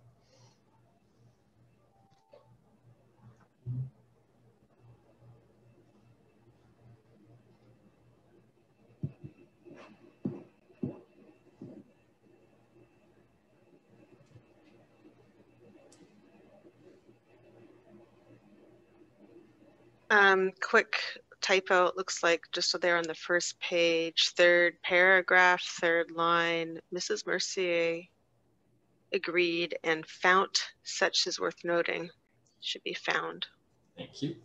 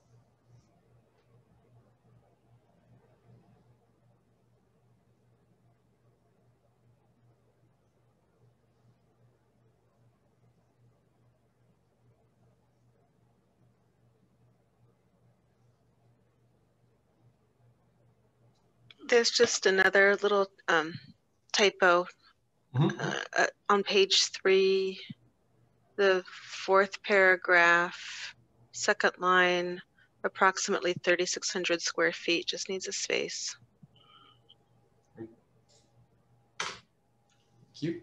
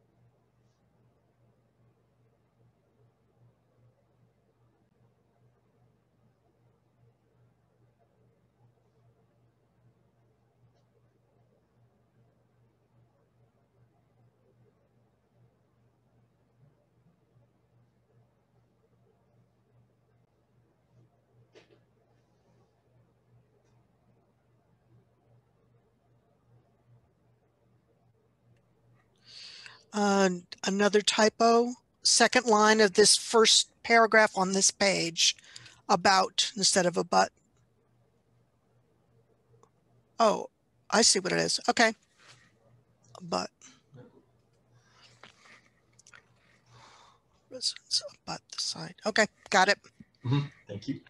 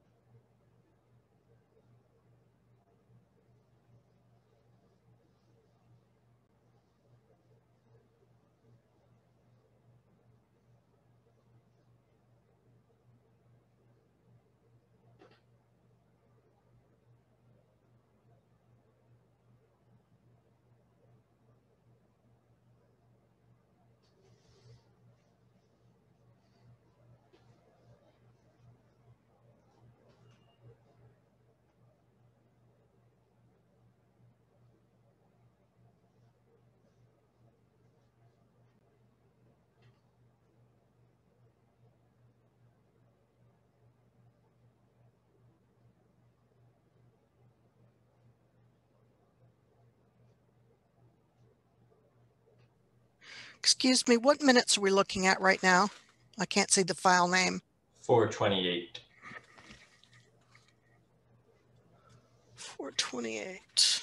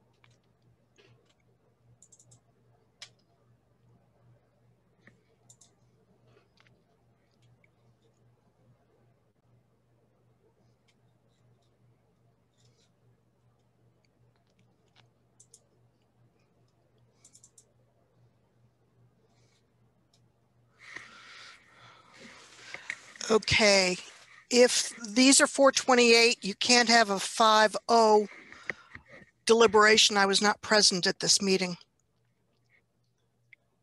Yes, but I think we had Linda and Tony who was then able to vote. Okay.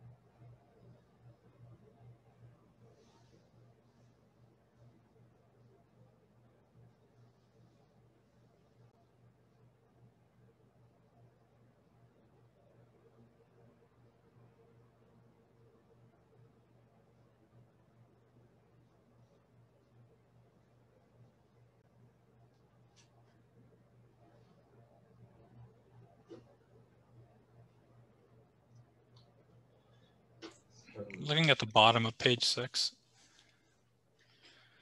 Um, this Miss Benitez stated that the outdoor dining. No, that's not it.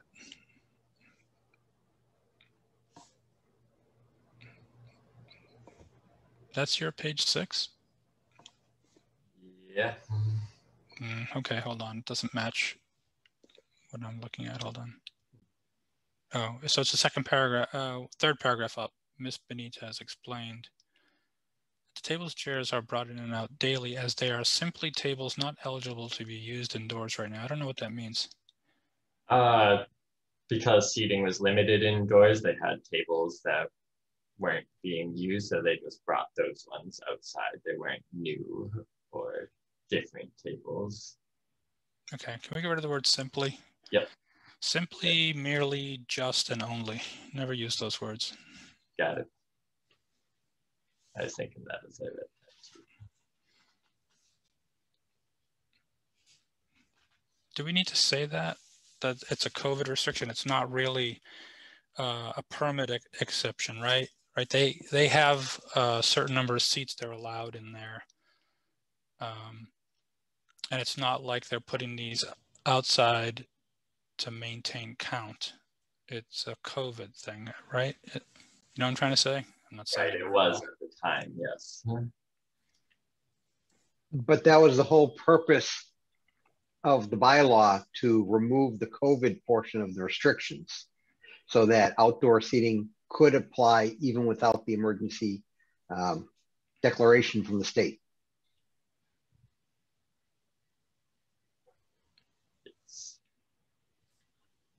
Um,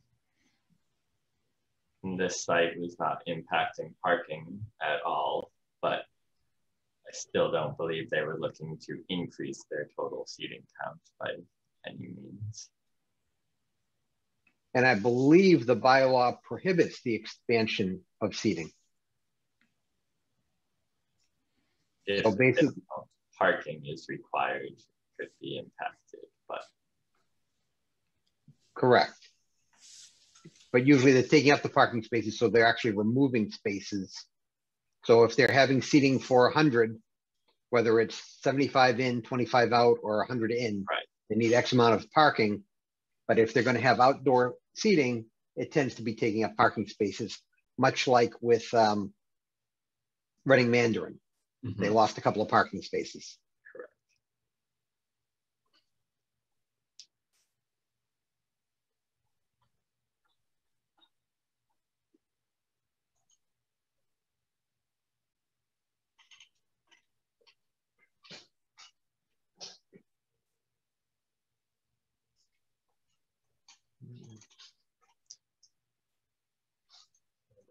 I will go and switch to the five, four minutes. That's okay. Should we make a motion to approve the 428 minutes then? Sure, I'll second it. Thank you.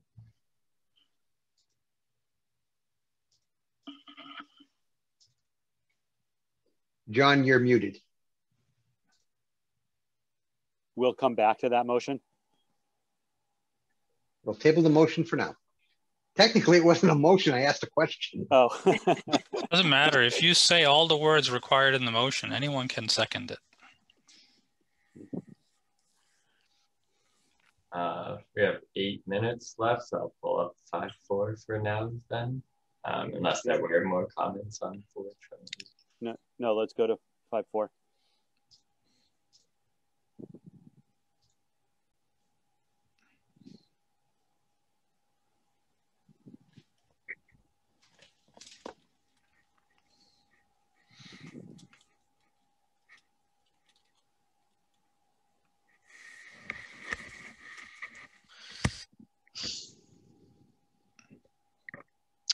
On page one, search for the word handicap. It should be handicapped, P-E-D on the end.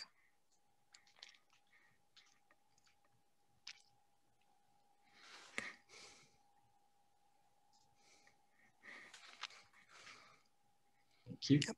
Thank you.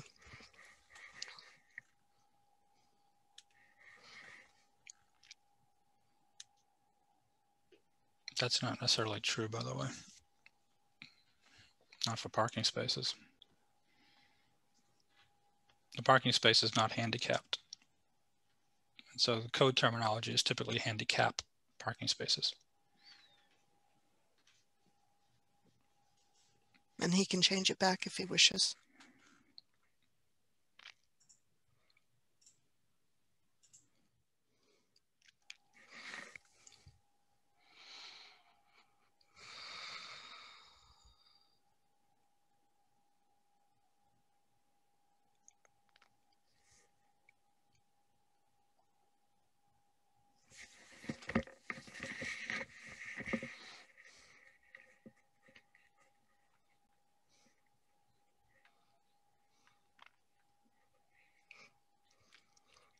However, a grammatical thing, top of the second page, the pizza shop will likely be closed on Mondays.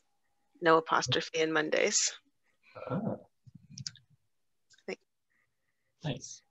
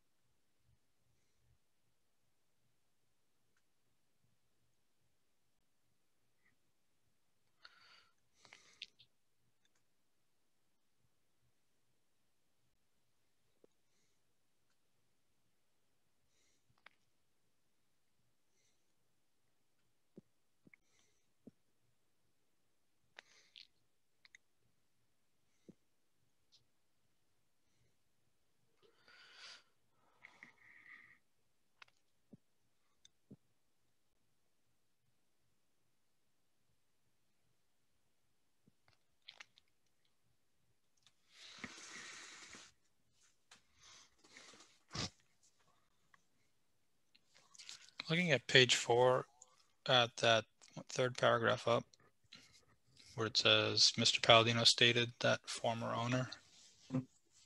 Isn't isn't uh, Colarusso still the owner of the facility?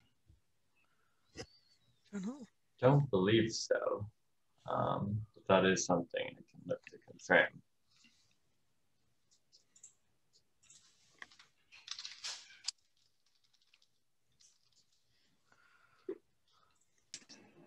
We do want to spell Calaresso correctly, however. Calariso, right? Yeah. Let me, I'll look it up for you, Andrew. Thought I had Googled it. Since I mean, It's misspelled at the bottom as well.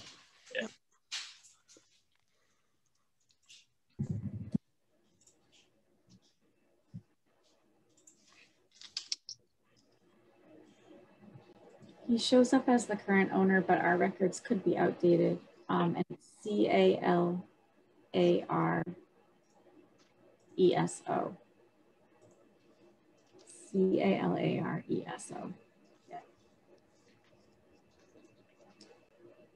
I think he talked about him as the owner. He was the former operator.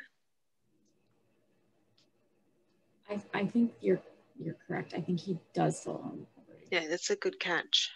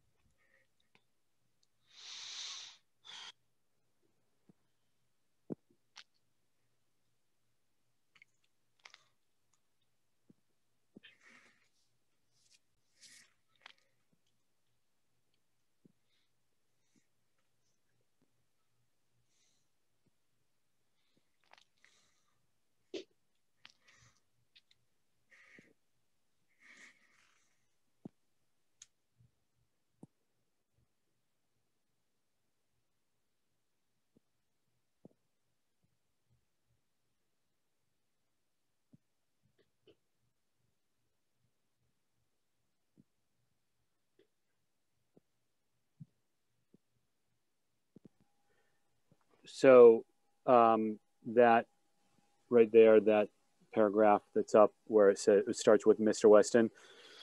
Um, so the intent there was that um,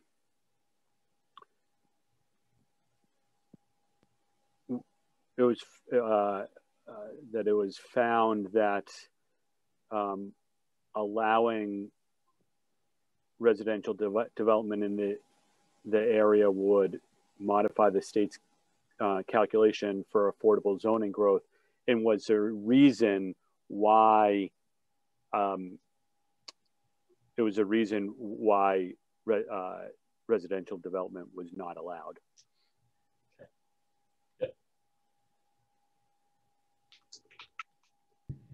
I can help you word that, Andrew.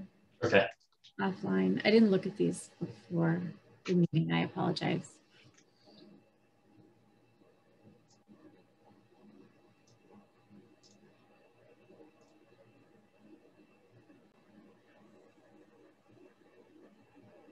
That ends that one and 940s. All right. So let's um, let's vote on those two. Um, right, we do have one motion on the table, right, for approval of the four, 428? Yep. What was it, eight? 428? Um, that was 5 4. 5 4.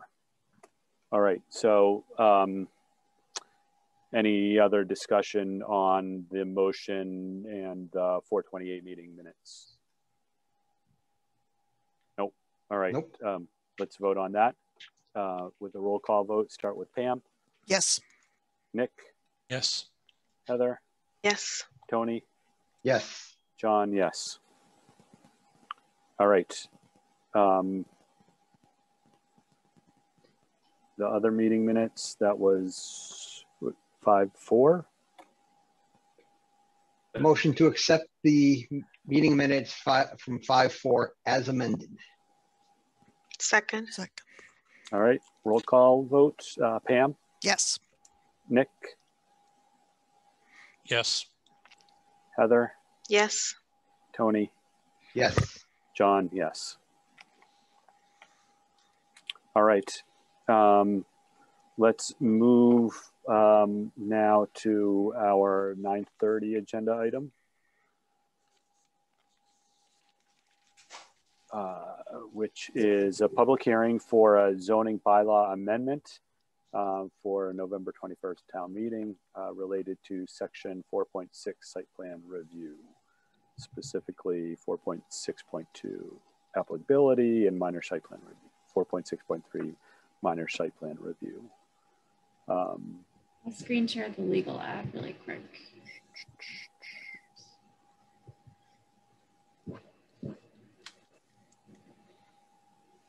Pam, I think that's you.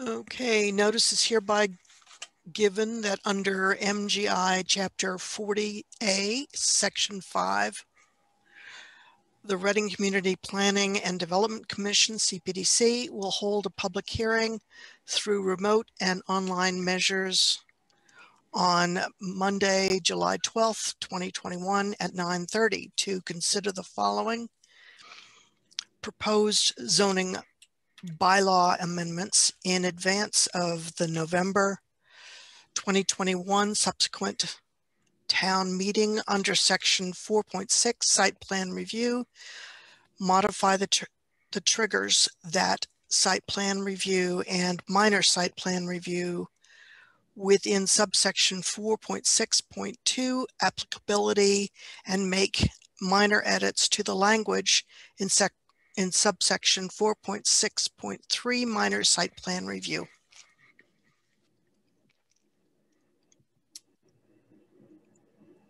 You want me to continue? Complete drafts of the proposed amendments are available at, uh, to the public in the public service department at Reading Town Hall from Monday through Thursday, 7.30 a.m. through 5.30 p.m. and are found on the town website the Thursday prior to the hearing date. Thank you, Pam. Okay.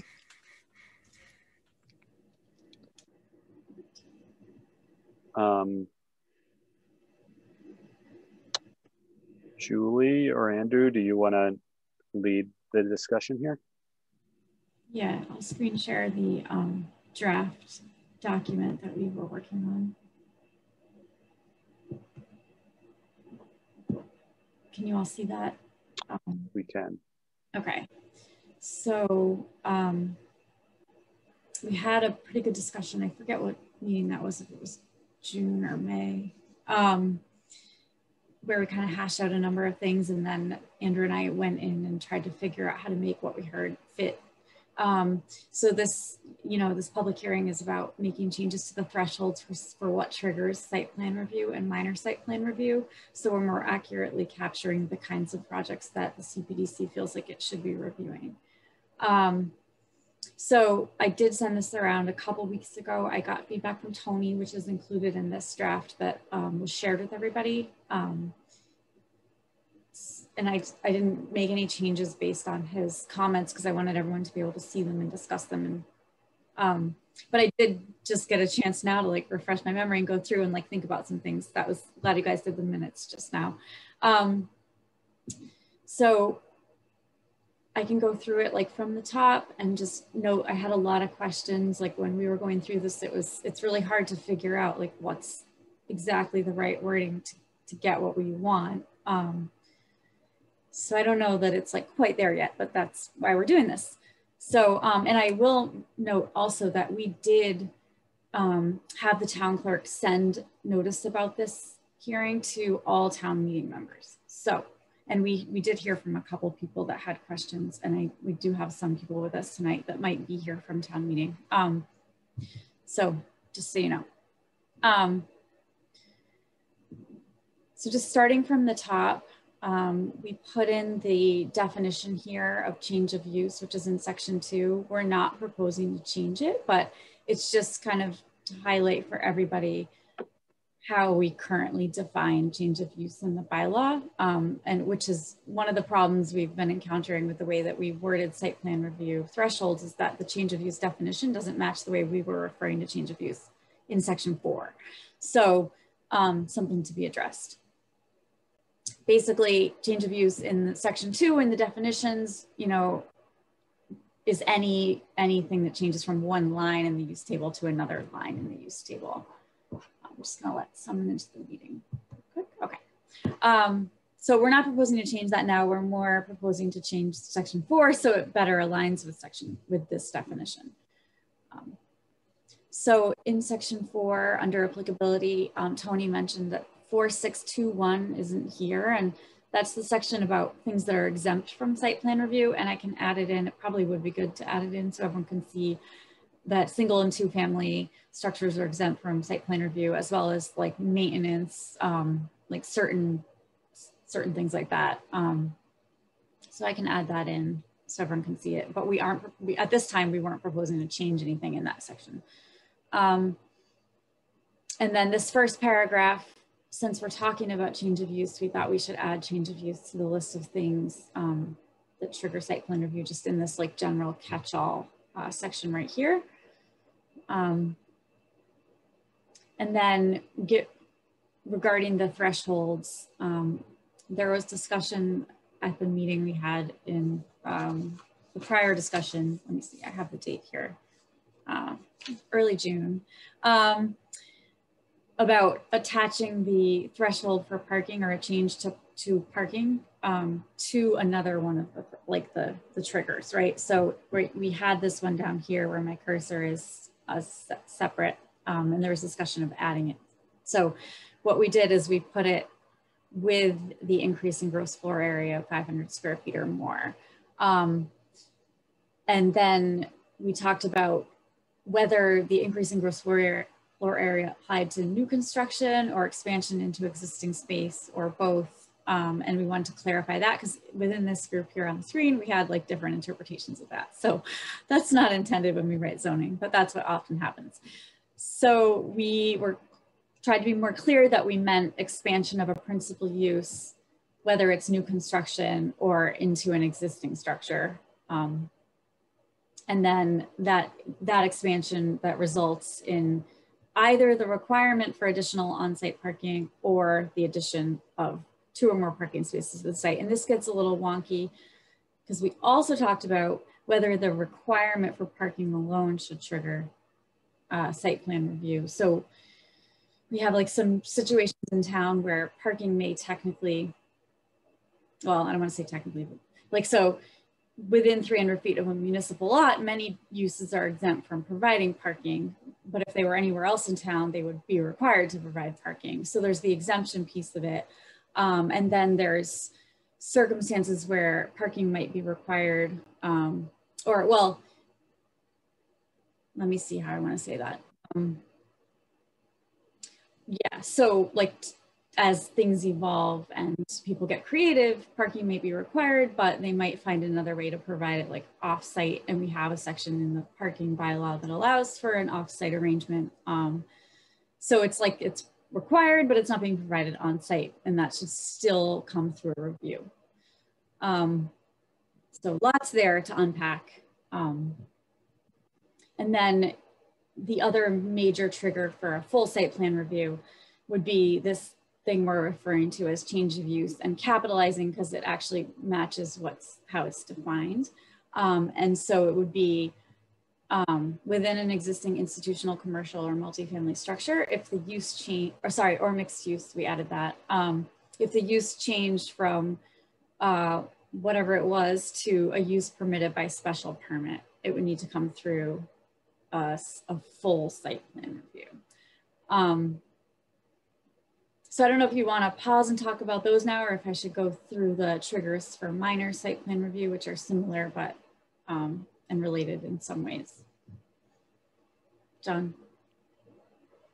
Um, I, I think just keep keep going, and then we can come back and discuss. Okay. And over here on the sidebar, lots of questions about like, does this make sense? What does this mean? What if we did it this way instead? Okay, so um, oh, am I scrolling too fast? No. All right. So then sec the next page here um, is the triggers for minor site plan review. So again, we added change of use to the list um, since it's something we're talking about down here. Um, and then in this case, we separated out the change to the structure. So the 500 square feet or more of a principal use, be a new construction or expansion. Um, so that would be a standalone trigger on its own. Um, and then we had that same um, trigger of the parking uh, that used to be in the full site plan review section, but now it's moved down to the minor. Um, and the, the wording is the same um, as it was before. But then we added after discussion that changes that address minor pre-existing site safety or circulation issues may qualify for administrative approval.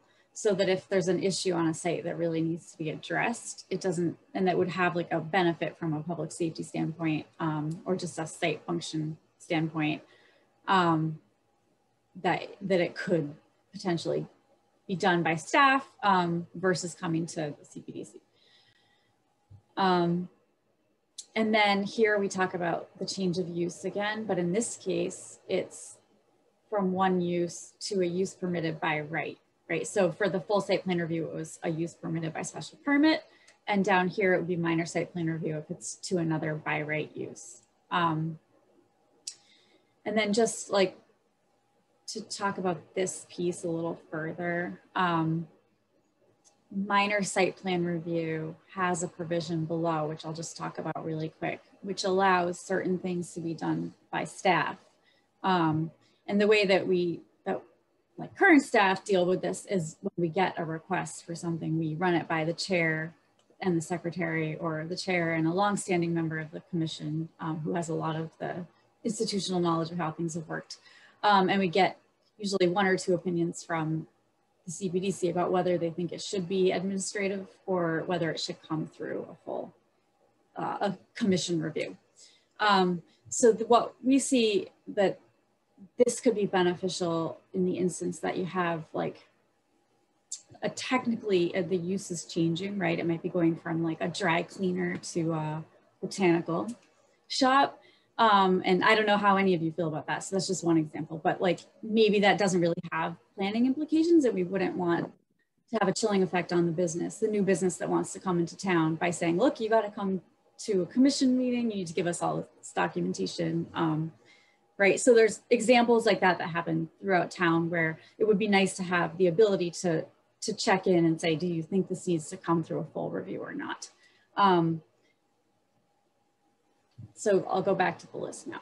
So um, then we have the outdoor commerce dining programming and storage, which is new and we're not removing, I just moved it down so it's at the bottom because these other provisions that we already had here kind of like go along with the ones above. So I'm gonna put them together. Um, so the old provisions that we used to have, I didn't really change or take out. Um, but the exterior alteration of 500 square feet or more, um, and all these different things within business B. So right, right in the downtown. Um, and there's other business B zones as well, but mostly we think about the downtown when we talk about business B.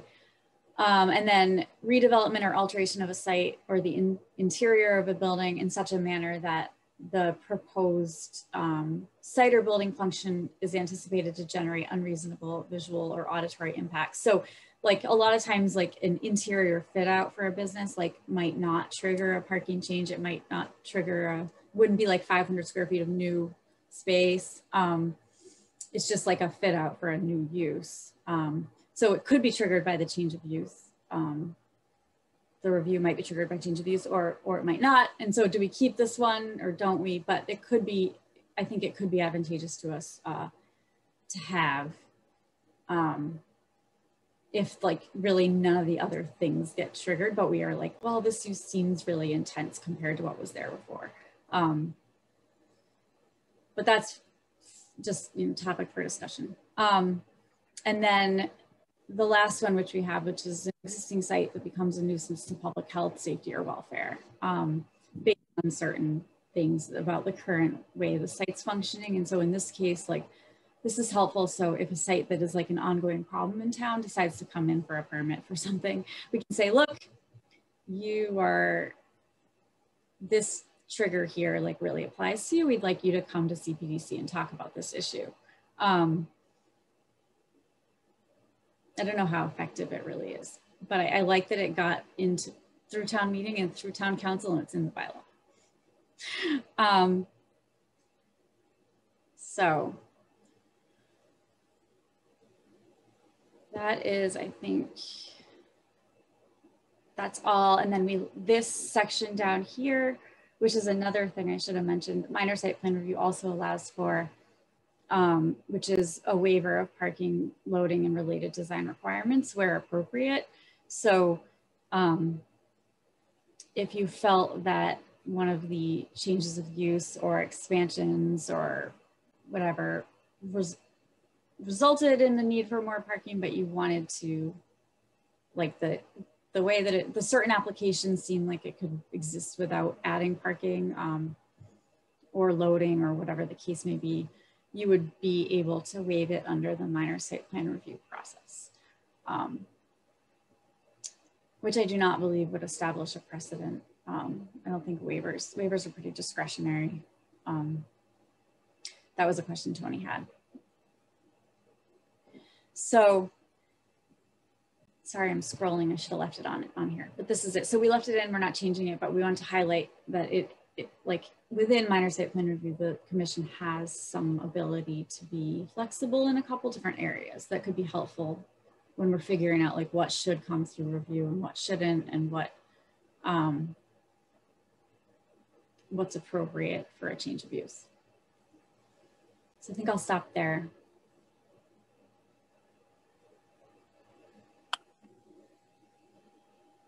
Can you scroll back to the top? Sure.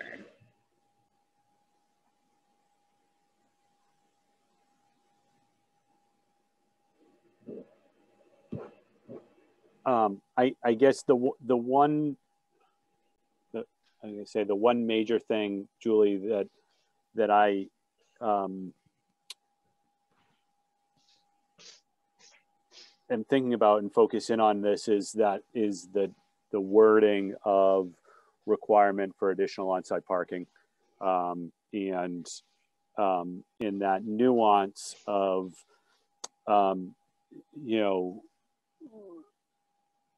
let's you know um, of a of a development of a building that that can waive their parking requirement because they happen to be you know right next to uh, a uh, municipal lot um, and therefore right you know it are they would they fall under this or not you know um, right there's lots of cases where where that's um, that situation exists and and i i don't think we the intent there is to to not address not have those properties come for site plan review so i it, i think that focuses on that word requirement so are you saying that so last time we spoke it seemed like some of you felt like even though they're exempt, they should maybe should still come through a review. And I it seemed like some of you felt like that and then some of you maybe didn't. And so the exemption is tricky because it's in a separate section of the bylaw. Um, that you know probably should be addressed on its own. Um, but are you saying that we should take that out and that like I, I don't I didn't quite follow what you were saying, Don. That the way that it's written right now, I think, right, is that if if there's a, a property that um, is right next to a municipal lot, right, and um, um, and they change their their use so that they require two more commercial parking spaces by the square footage that they have. So they're increasing their demand because they're increasing square footage um, within, you know, uh, within their building. Um,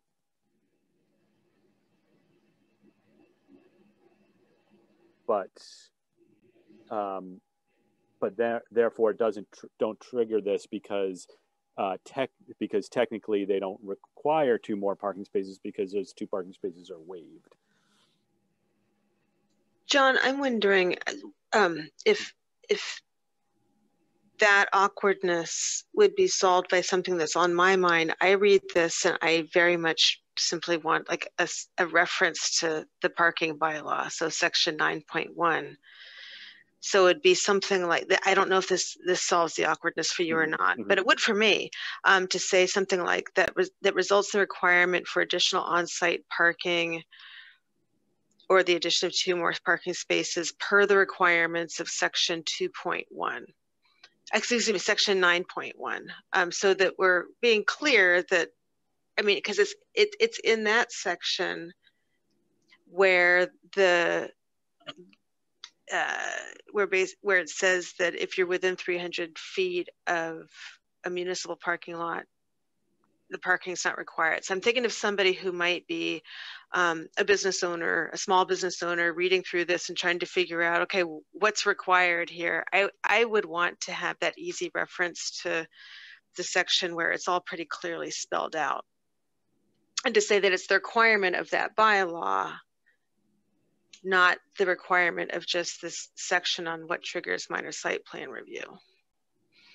But isn't the uh, isn't the exempt, exemption granted by the 300 foot distance?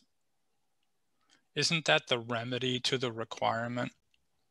So the use still requires X parking spaces. It's just that their solution allows them to use the 300 foot um, distance and then say that that meets the requirement. So yeah. this would require, even if somebody could then say, well, yes, I need two more spaces, but I'm within 300 feet. That's my solution. That should still require them to come in because they are obviously increasing intensity. Right, and and I, I read it that way too, Nick. But right, that's the, uh, I could see that getting twisted over the course of years, mm-hmm. um, and that that it being defined the other way, that the waiver comes first before the requirement. I, I guess what I want to uh, establish here probably first is right the the discussion that led up to um, uh, putting these together at one. Right, there are two conditions that we were discussing. One was if a property owner adds 500 square feet on that is, you know, let's call it pure storage, right? Um, um, then and and they're not intensifying the use, then really, what's the you know what's what's a big deal, right? Um, uh, and that's where it's it, if they're increasing demand or intensification of the use is where we want the the review. And so the thinking of the two of those together, right? The demand for more parking, which sort of signals a more intensive intensive use. I, I think that's where how we got to where we are. And anyone correct me if they were thinking something different. So if we change that word requirement to something else, then we can still capture that. Not the requirement for additional, maybe I, I think requirement still works if we add some language to it, but uh, basically anything that would increase the intensity of the use should get reviewed. And the way we're essentially defining the intent or defining the intensity of use is if more parking is required. 500 square feet or more, and that results in the requirement for more parking. So as John was saying, we had made that storage argument last time.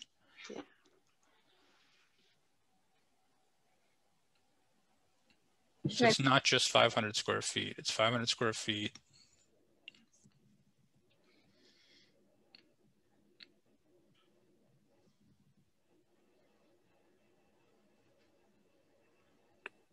It, it is, I can see how it could, this could easily be interpreted both ways, like you guys point out. Um, Just add some language. Tell them yeah. that regardless of, you know, whether the waiver for parking is permitted, or something like that. Yeah, maybe it's just as simple as that.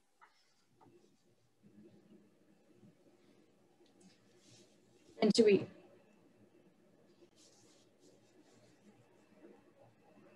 Okay. Um, I just feel like it's getting wonkier and wonkier. I mean, I know yeah. you. Well, you're duplicating effort there for additional on-site parking and the addition of two more parking, two or more parking spaces. It's just basically the addition of two or more parking spaces, despite um, waivers or exemptions. Say that again, Tony. Sorry. All right. So you're saying they're required for additional on- on-site parking and the addition of two or more parking spaces. That's basically the same thing. So get rid of the additional on-site and just leave it at the addition of two or more parking spaces. And regardless of whether, regardless of exemptions or waivers. Because the other half of it is if we've granted a waiver for parking in the past, can they then use that waiver as an excuse not to go for site plan review?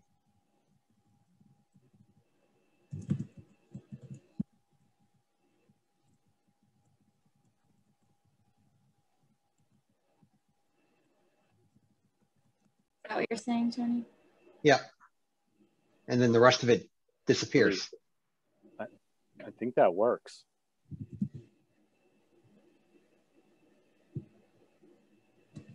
And is that's what you that, that this is what you want?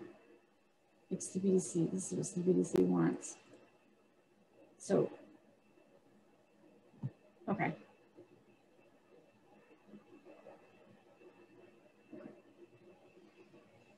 I've lost track of why our number is two.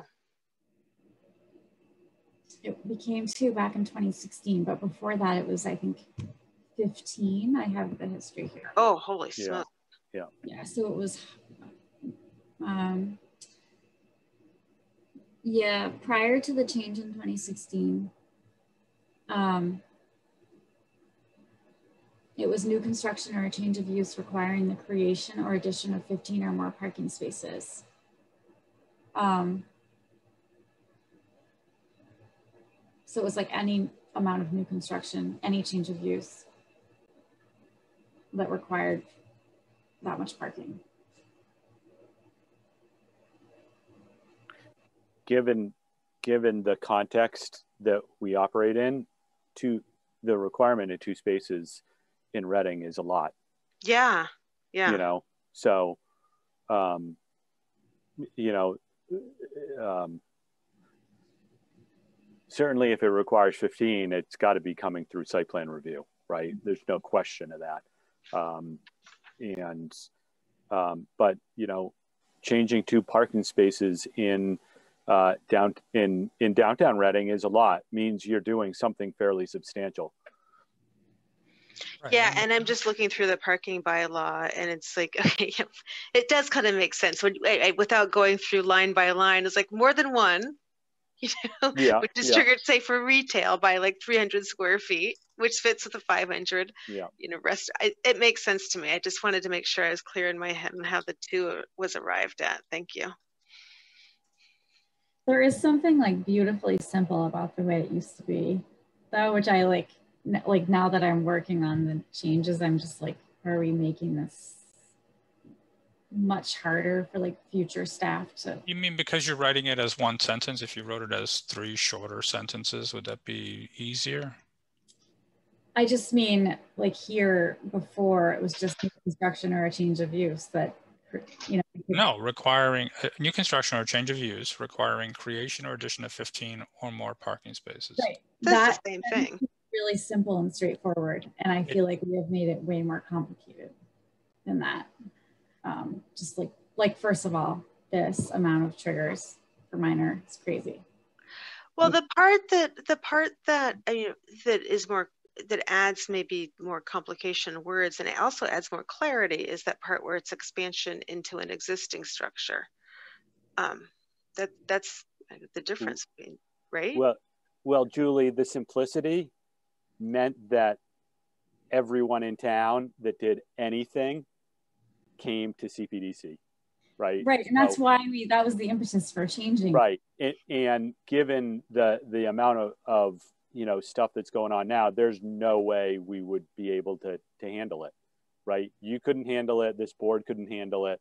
You know, and it would just make so you know and make everyone pissed off, right? and not needed, right? So you know we could cast a wide net, or we could be a little bit more surgical, right? Which means more words and more um, nuance. Right. And then cert, like, like we've discovered uh, some certain things like slip through the net. So Yeah, then we try to like sew the you're right. net. right, right, right. Um, Given the definition as it is, you could make it a percentage increase. So uh, results in the requirement of an increase of 10% or more parking spaces for a major modification. So a small business that has 10 spaces and needs to add one might be big, might actually, because it's downtown in a small area, they started with small, may be more impactful than a big one that increases it by five spaces.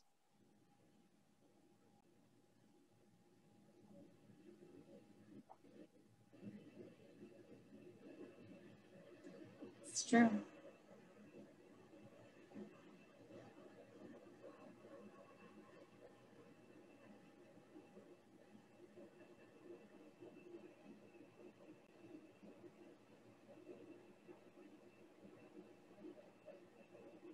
That is true.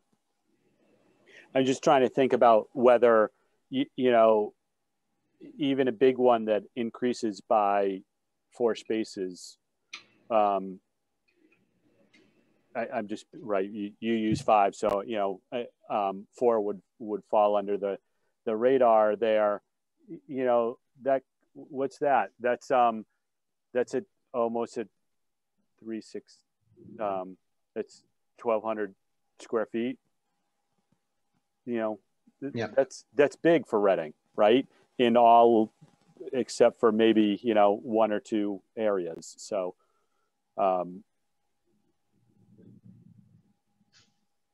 I would I I think we would want as a community we would want you know 1,200 square foot of new development coming through a site plan review.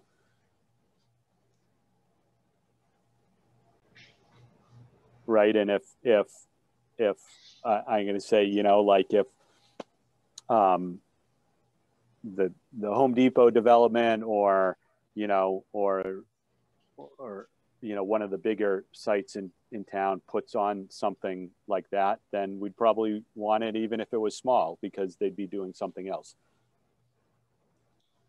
I i, I sort of like where we're at personally it doesn't mean everyone needs to agree but i think you had mentioned before john that what if they aren't required to add parking but do it anyways. Like, what if they tear down a portion and add parking? I think under this language, they wouldn't trigger site plan review.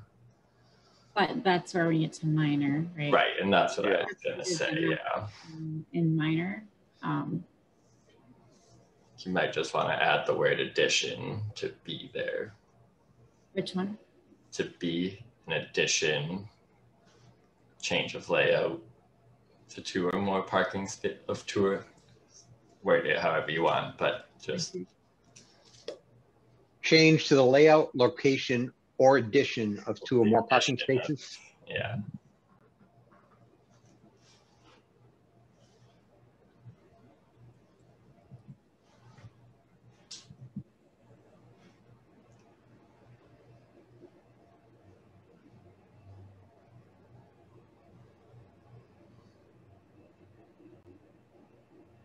So should we talk about these now? Sure.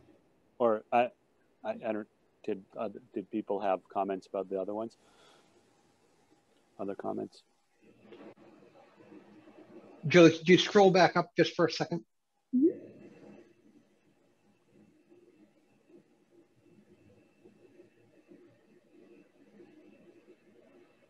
Nope, no more, no more changes.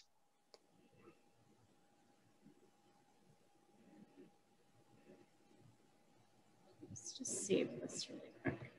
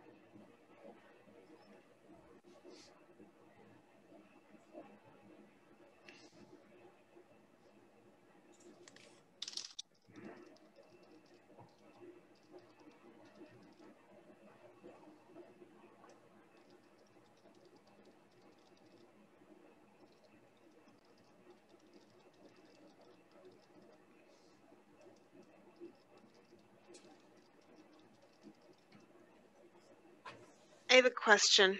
Um, on B, where we say changes that address minor pre-existing site safety or circulation may qualify for administrative approval. Um, as phrased, what if an applicant says, well, it should, this, this is, uh, this is um, addressing a safety problem, so it should get administrative approval. And Julie says, well, no, it's not it, it doesn't qualify for administrative approval. Does the language as written without any other criteria for what qualifies for administrative approval, or are the qualifications somewhere else? Is, is that did that eventually get you into trouble? Should should uh, I'm going to answer one of those. Should the word exclusively be added to that um, sentence? Changes that exclusively address minor pre-existing site safety and circulation. I think that's good. And then Heather, right here where my cursor is, is where. Oh, that's right. Administrative approval. And typically, like we ask someone on CPDC for, for feedback. And we give lots of opinions on what we think, but we ask for feedback and an ultimate like determination that that's okay. All right.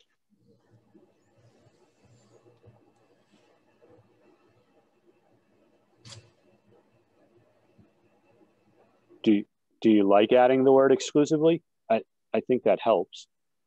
I do.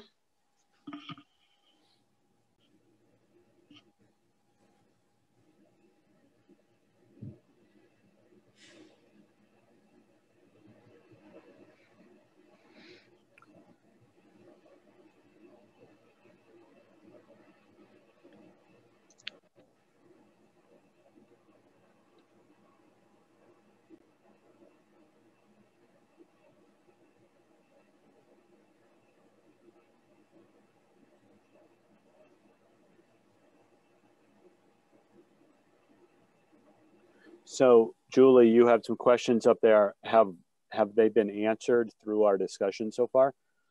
They're um I don't want to say rhetorical, but I, they're um they're questions that I think given the way that this is worded and the conversations that we had in early June, I think it would be hard for staff to actually answer. And so I wanted to know like if you that's my take on it and I want to know if you felt like you could interpret how you would interpret this, if you could answer that question. So That's why there's the smiley face. Well, so I, I thought about that some, and you know, so I could see, yeah, you put that with with A, where it was an increase of gross floor area of 500 square feet or more of a principal use. Wasn't the use before a food service, and this is still the expansion is also food service. Right. So is that actually an expansion? That's an expansion of the business, but it's not actually a change of use of the of the of the space. Right. So that would be my interpretation that I would say like the use of it was Demici's and you know restaurant to restaurant. Um, Well, but this isn't exclusively for change of use. We just added change of use, right? If you, its proposed construction is an increase in floor area of a principal use expanding into an existing structure. So that would, that would trigger it. Right. Like I, I right. So I think that like I think I think if that's what you want, you would want that to be triggered. We would probably need to say something like business. I I want there to be a trigger that then allows you discretion to look at it, right? So for example, we, we talked about this two more parking spaces and John's right. In most of the downtown businesses, two parking spaces is probably a significant increase to some sort of use, right? I mean, that's potentially what four tables or something. But if you were to let, if those two spaces were up on Walker's Brook, it would be insignificant, and you could look at it and say, yeah, there's just just no impact here. So I think that's where I'd like to be. I'd like to there to be a, a lower threshold trigger that allows a review with discretion to then either do it administratively or push it to the board. Commission. Have as a minor site plan trigger, um, with the exception of outdoor commerce, dining, programming, or storage, which always comes to you guys, um, could be done administratively, the way the bylaw is written. Currently written. Mm -hmm. But that's specific to 4.6.3.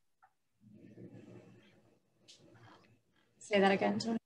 That is specific to 4.6.3, which is what says that minor site plan review can be administratively approved.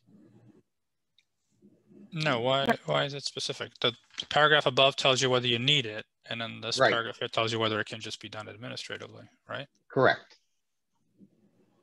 So it doesn't matter what you're saying in 4.6.2, the paragraph above, if 4.6.3 says that all minor can be approved by administratively.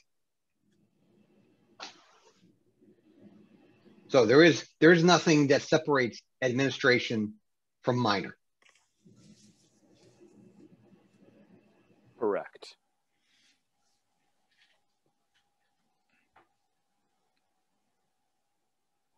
I guess the point, part of the point I was trying to make was that like the, the full site plan review does not have that. So like if you, if you wanted that to be like, like Nick said, like something that we can look at and then decide, it would be, it would need to stay in, in this minor site plan review section, or we'd need to add in some other mechanism.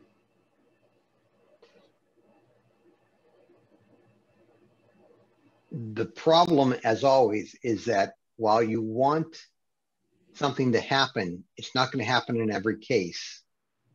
And you've got to kind of cover yourself for the 80% that occur. For example, if we go with the Bunratty's, I would assume that uh, based on what we see right now, Bunratty's uh, would have had a increase in floor area of 500 square feet or more of responsible use uh, via expansion into an existing structure and would have required a minor site plan review. However, depending upon how they configured that additional space, it may have led to an increase of more than two parking spaces, which would bring it up to a major site plan review. If because they're getting rid of the Demici's kitchen, they can put in more tables, the total number of parking spaces or required spaces in theory could have expanded and they would have had to do the full site plan review. Right. But see, that's where the discretion part comes in. Staff could look at that and say, we're going to go to full site plan review. They're exempt for that parking anyways, right? There's no sense in bringing it to full Where site it plan. it says, Right, then we're not going to do full site plan review, right? like we didn't word it that way. No, I'm just talking it through. Right, yeah. That's the kind of flexibility I'd like to see. like because I I guess like in my mind, I would not want Bunratty's, which is going into an, a prior restaurant space and is downtown, and I, I would not want to bog them down with coming to CPDC. That I agree. Yeah.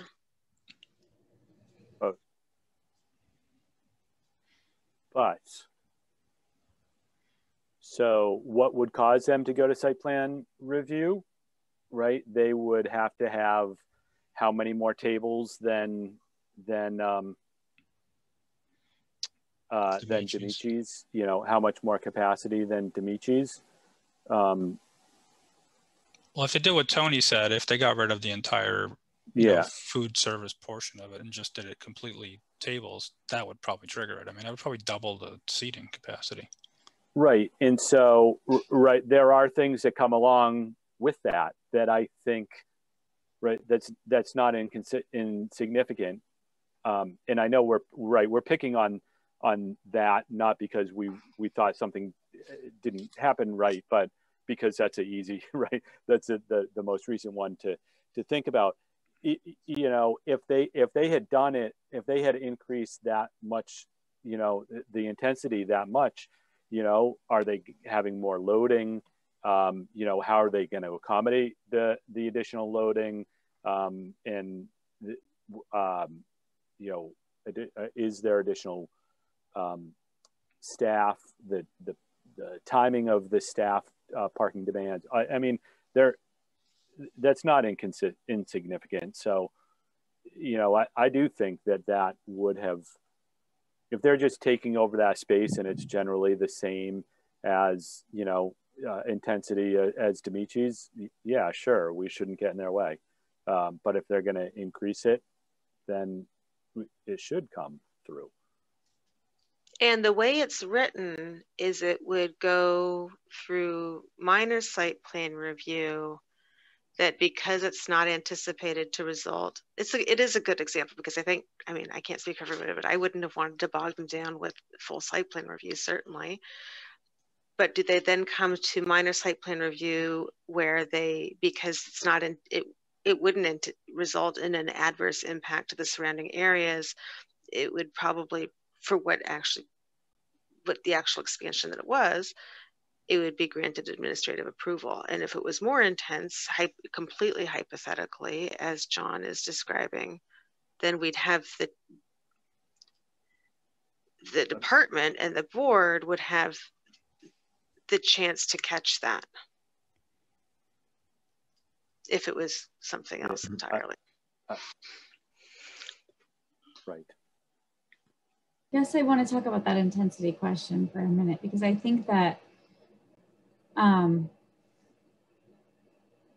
just like how these conversations go, like at town hall, right? So we hear that something like this is going to happen, like Bunratty's, right? And with the way that the bylaw is written now, there was no trigger, right?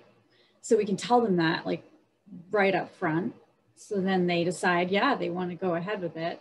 And it's like months later, maybe, where we see what a plan looks like. Uh, we always like reserve the right, you know, to change our minds once we mm-hmm. can, right, with everything. But it's just like the conversation. So, so we'd have to see the plan, talk to them about seating, know what was there before with Demici's, how many staff they had, all the stuff,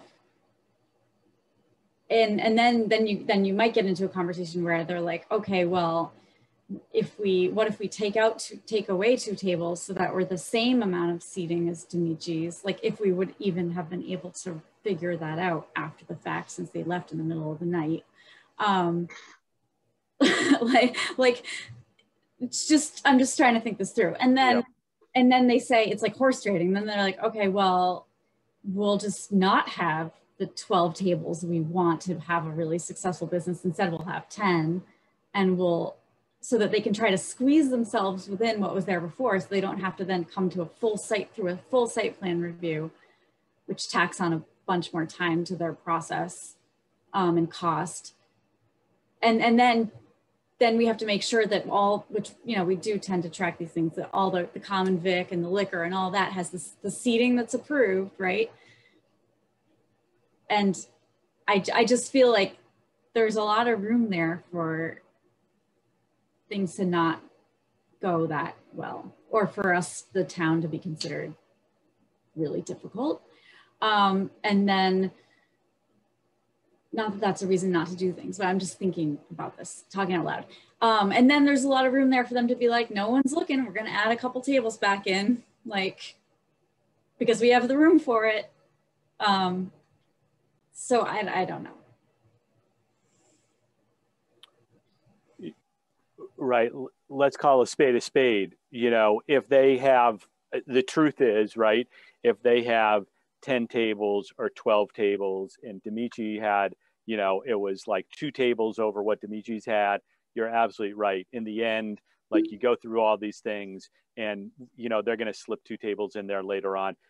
Chances are, you know, the, right, let's get real. That's not going to make a big difference, but you have to draw the line somewhere and establish some um, some parameter because you know they could do something that is it, that is dramatically more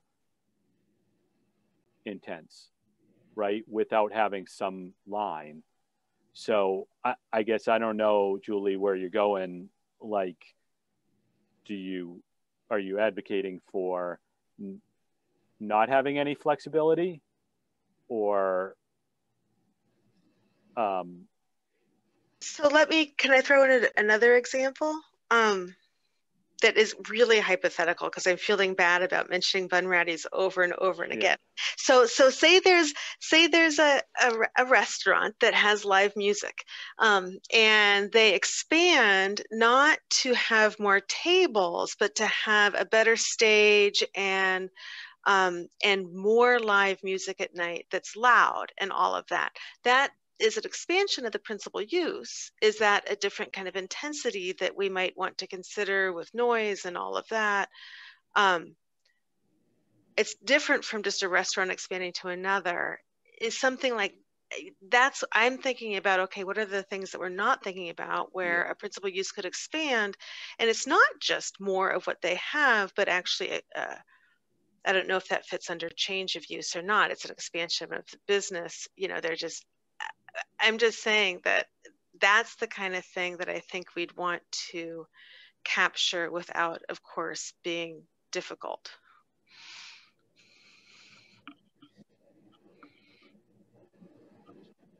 Well, then there's the other thing about like restaurants in the downtown at when they're open at night, and like many other businesses in the area aren't open at night and aren't using that parking. Um, just throw that in there. I don't know. Or let's go the other direction, right? Where, you know, they are open during the day and they, they change it into, you know, like a, a taco place, right? Where there's a lot of, you know, there's um, a lot of foot traffic in and out in, and demand for parking in the area and, you know, trash and blah, blah, blah, blah, blah, you know, that sort of thing. I'm not saying that's good or bad, right? But there are different externalities than Demici's, which was pretty tame, right? I mean, it's people drinking coffee, right? So, um, so you know, we, I guess that's the thing is that, right? It could have been something, you know, they they could they could expand into something um, that has a very different uh, externalities, and so I I I think we um, we need to be able to capture that stuff, even if it means that um, that right. It's never it's they're never going to be very clear, Julie. Right until they're until they're at the end, and even then, they're not going to be very clear. Right. And it's just it's just hard. It can be hard for it's yeah. hard be in the position where we have to change our story. Yeah. Hard for them to be in the position where they have to hear us change our story. Yeah. Right. Um so I I do want flexibility. I guess I just worry about where it is we draw the line.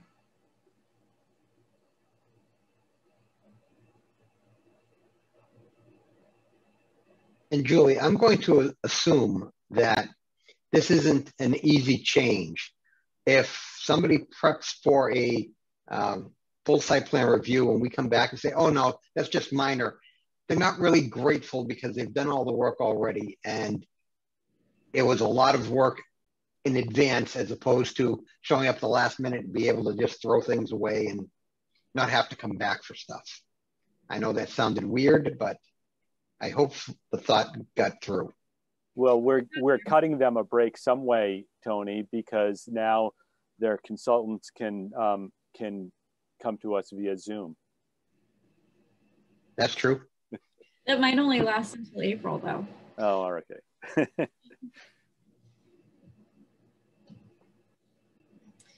um, I just don't know this is really hard. This is actually really hard for us to, when we were working on it. There are so many scenarios.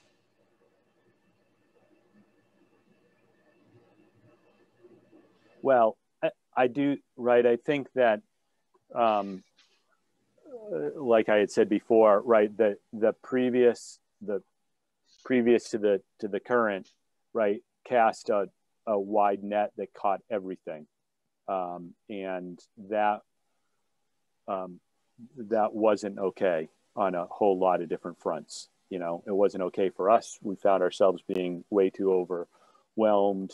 Um, it wasn't okay for the business owners. It wasn't okay, you know, for a lot of reasons. So, right, I think we swung the other direction.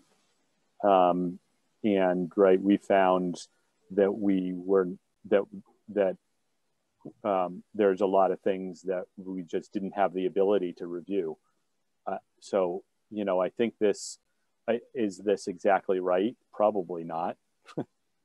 um, but I think it gets us back in that direction where it, it, it gets us, you know, a little bit more ability to re review than we have now.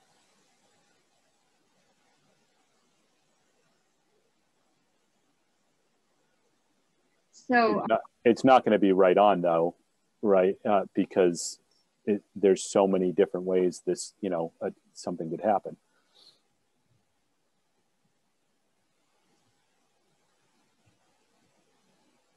Yeah, I, I just, I, I think I want to like give this a little more thought to try to I mean, I, don't, I, I hate to like continue things if we feel like we don't need to continue this hearing, but like I feel like I'd like to sure. give more thought. Um, I don't know how you feel.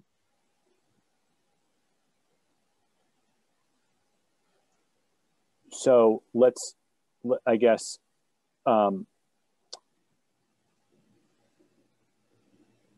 before we go there, like, does anyone have anything else sort of um, to, um, focusing in on any concerns or suggested changes um, to what Julie's presented.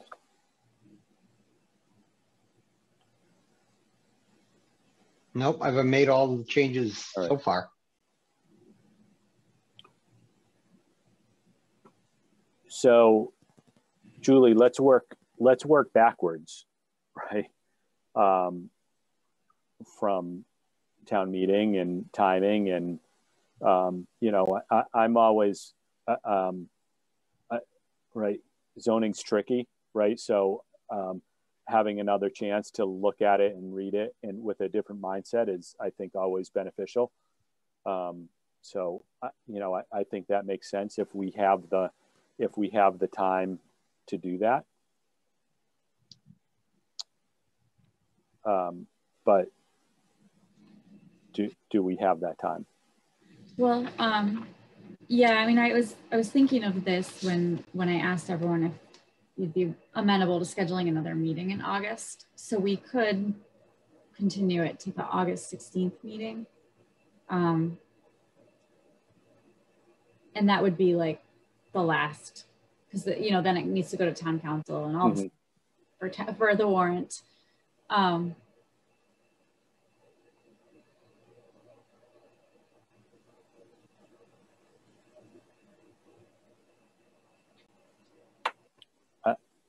I'm okay with that. I mean, I, again, you know, it's it's always good to sleep on this stuff and and think about it with a different lens. So if we can fit it in that that meeting, um, and then know that we need to, you know, we, we need to make that decision then. I, I think that makes sense. Great. So it would be August 16th at 8.30 would be the time.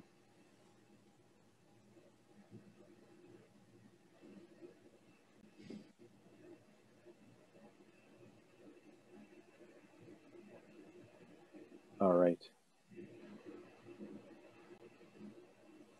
So do we need to uh, do a continuance? Move to continue? Mm -hmm. I'll second. Uh, point of order, Mr. Chairman? Yep. Should we be opening this up to the public first? Um, well, I guess um, I, am not sure that we closed it off to the public, but if anyone um, anyone uh, had any has any questions or comments.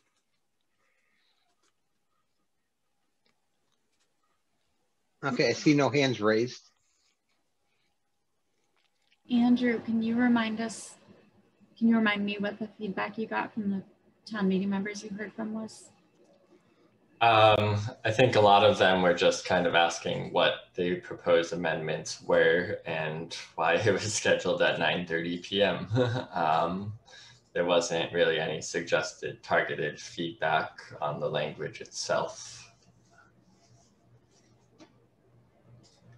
Okay. Um, maybe we can reach out again to everybody and let them know that the next time we talk about it will be at 8.30 p.m. yeah.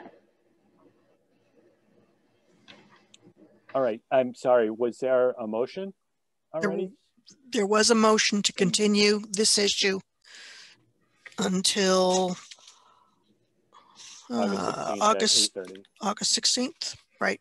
At 8.30. At 8.30. And I'm sorry, I lost track. was it second? Tony, did you second that? No, did someone? I, thought think I, I think Heather I did. It. Okay, I'm sorry. I, um, so um, roll call vote. Um, we'll start with, I have a bug in my house. Um, uh, start with Pam. Yes. Heather. Yes. Nick. Is Yes. that a yes? Okay. Uh, Tony. Yes. John. Yes.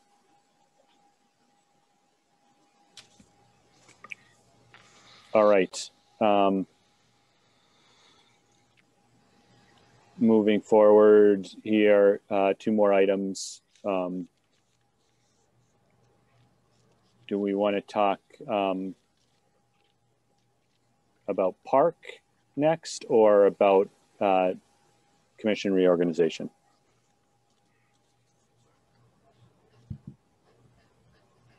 Usually commission reorganization is last is the last item on the agenda. All right. Yep. So let's talk about um, the parking advisory and recommendations recommendations committee. Um, I um, I guess does everyone first know what that is, and um, should we have a discussion about what that is first? I could use like a 30 second version. Sure. Give like a 30 second version, I think. so, and we talked about it one time before, or two times before, like a while ago. Um, so, the Parking Advisory and Recommendations Committee um, is going to be an advisory committee of the Select Board, um, ad hoc advisory committee um, that will look at the downtown parking, the regulatory landscape, um, the parking supply, the uh, utilization, um, and try to come up with a better system for a, a, better methodology, I think, for managing the downtown parking system and parking supply. Um, it's it came it evolved out of like an effort, the staff-led effort that started in um, 2019. Um, and we worked staff the parking traffic transportation task force, which is like planning, economic development, police, fire, engineering, DPW, whole. Um, we worked with a parking consultant um, who'd done a couple studies of the utilization in town, and we we put together some recommendations, and we went to select board, and um, there were a lot of discussions and questions and um, outreach, and and we just got to a point where we felt like the effort really needed to come from the from volunteers, from residents, from stakeholders. Um, so we recommended the formation of the PARC. Um, and it's to be comprised, well, it's eight of the nine members have already been appointed, I think. Um, so it's, um, you know, seven residents that are uh, also business owners downtown um, or live downtown or have an interest and expertise in like logistics and systems management and parking and things like that. Um, and then one member of the select board and one member of CPDC. So everyone else has been appointed and CPDC now needs to talk about, about who might want to be the person from this board that sits on that. And it is subject to open meeting law. It's likely, I would say the meetings will be night meetings. Um, and there will be staff support provided to the to the effort. uh, me and potentially also others, as well as a consultant to help out when needed. So.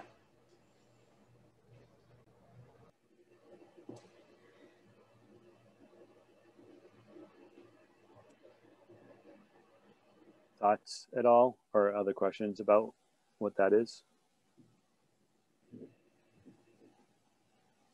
No. Um, well, I'll just put it out there that that um, that's a committee that um, I would not mind um, uh, being a member of, uh, um, being nominated for. Um, I do, as you guys know, right? I, I do have some parking transportation background, so um, you know, had my my mind in you know thinking about downtown parking for a while. So um, I'd be I'd be happy to to do that and represent this group. I'd be happy to nominate you. I'll second that. All right. Other other people interested or other nominations? No. If you're going to volunteer, you're welcome right. to it.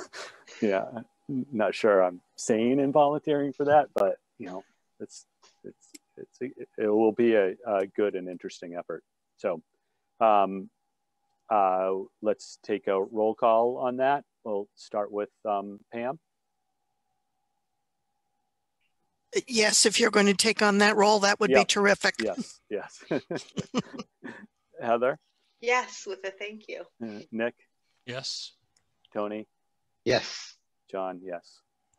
All right. Great, that was easy. Thank you. So, Julie, who are you rooting for? What do you mean? In the past, you'd said you had ideas on who you'd like from the committee.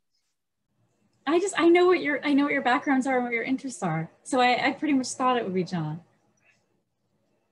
There it is. Anyway. Um, all right. Um, last item, uh, commission reorg.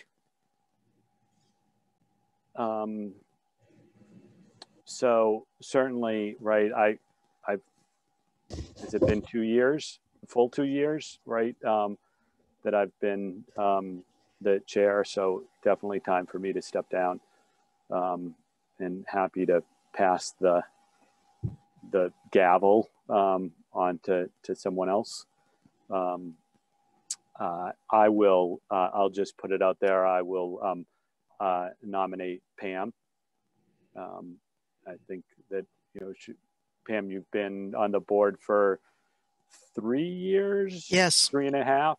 Yes. Yeah, something like that. So, um, yeah, bring a, a lot of uh, insight. So I think that you'd be, you'd do great. So that's my nomination. Thank you. I second the nomination of Pam. Okay. Sounds fine with me. Uh, any other nominations for chair? Nope. All right. Um, so we'll take a roll call. We'll start with um, Heather, Yes. Nick, Yes. Tony, Yes. uh, John will say yes. Pam. I accept. Yes. All right. Thank you.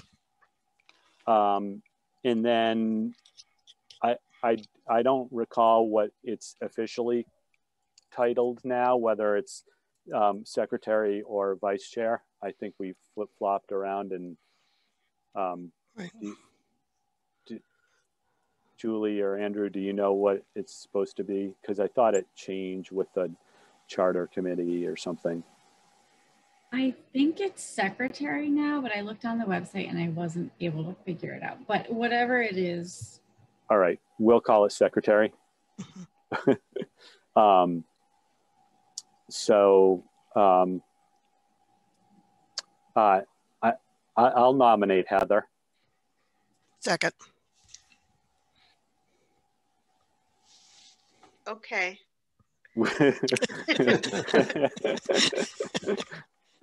um, she said hesitantly. Yeah, right. So typically, right, typically, um, secretary, the role, right, is eh, eh, first of all reading the the public notices, um, but also you know taking over that um, chair role if the chair um, uh, isn't able to attend the meeting. So, and I think it's pretty much been limited to those two functions. Mm -hmm. so, thank you. Um, any other nominations? Nope. All right. Um, we'll take a roll call vote on that. Start with Pam. Yes. Tony? Yes. Nick? Yes. John, I'll say yes. Heather? Yes, thanks. All right.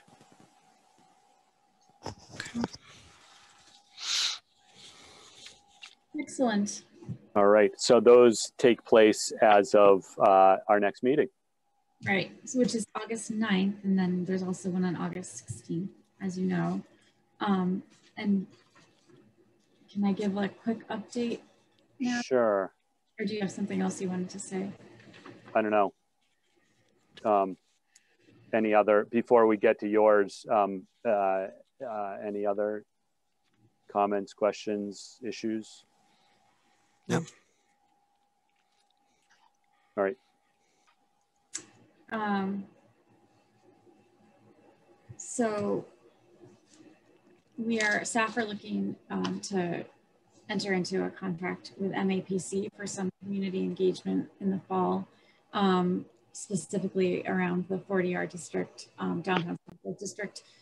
Um, since there's a lot of conversations that have been happening about about that and whether it, the zoning needs to change and you know all the stuff. Um, and so I just wanted to give you some dates and I can email them out. Um, we have some placeholder dates that we're looking at um, for some like community forums. Um, and there's a lot more details that need to be worked out, but we always kind of fig figure out the dates first and then work from there. Um, so I'll send a list, but just to give you an idea, and it's probably only going to end up being two or three of these dates, but we, if you can hold um, Tuesday, September 21st, Tuesday, October 19th, uh, Wednesday, October 20th, Monday, October 25th, Wednesday, November 3rd, and Wednesday, November 17th. Um, or hold and or let me know if like there's dates that don't work for you in the, that mix. Um, that'll help us when we kind of try to narrow down. And like I said, it's I think it, it's going to end up being two, maybe three of those dates. Um, and we wouldn't necessarily need like the whole commission to be there, but it, if we're talking about 40R and downtown and things like that, it would be important to have at least okay uh, representatives who can bring, and staff obviously bring things back to the full commission for discussion. And, and we would, the goal, one of the big overarching goals of this um, engagement would be to kind of help us figure out what we want to do with the zoning bylaw. Um, in addition to the feedback that we got at the zoning workshop in March, um, just continue that conversation, try to have it involve potentially more people than we would otherwise hear from um, and round out that picture a little bit um, with the goal of trying to bring something on that to April town meeting. Um, so, Julie, I can tell you right now for myself, the uh, September 21st date, I have a, an impossible conflict with. But okay. if others, if, if I'm the only one, I'll just flag that for you right now. Okay, great. Um, thank you for letting me know. So, so yeah, there's there will be a lot more information to come, but I just wanted to give you guys a little bit of a heads up on that. Um, and then we do, Andrew and I do anticipate being able to do a debrief of the zoning workshop feedback um, with you. I think on the August 16th meeting, we were going to do that. Um, it's one of the reasons we wanted to add one was because it's really getting like every meeting we aspire to do it and then we just can't because of the amount of applications that are coming in. Um, so, but we, we wanted to do it before the fall and before we get underway with any more um, public engagement on the topic. So, because it will really help maybe guide and inform and we don't want all that great feedback we got at that workshop to kind of like be forgotten and lost in the shuffle um, of everything else. So kind of going through that with y'all would be great. Um, so we'll plan to do that on August 16th. So there you have it.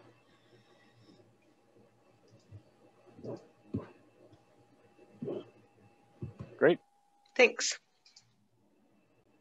Yeah, that'll that'll be good to, to go over that.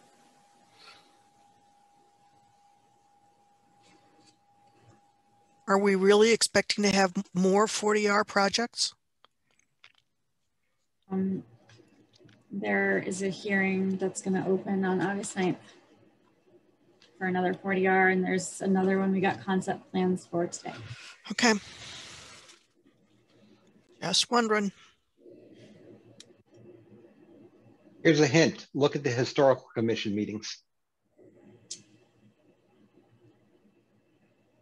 Tony, you just haven't checked those out.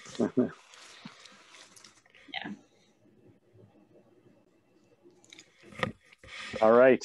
It's 11 o'clock on the hmm. dot. Maybe we can end it right there. Motion to adjourn. Second. Second. All right. All those in favor say aye. Aye. Aye. All right. Thank you, everyone. Thanks. See you guys. All right. Good night. Night. We'll be talking, Julie.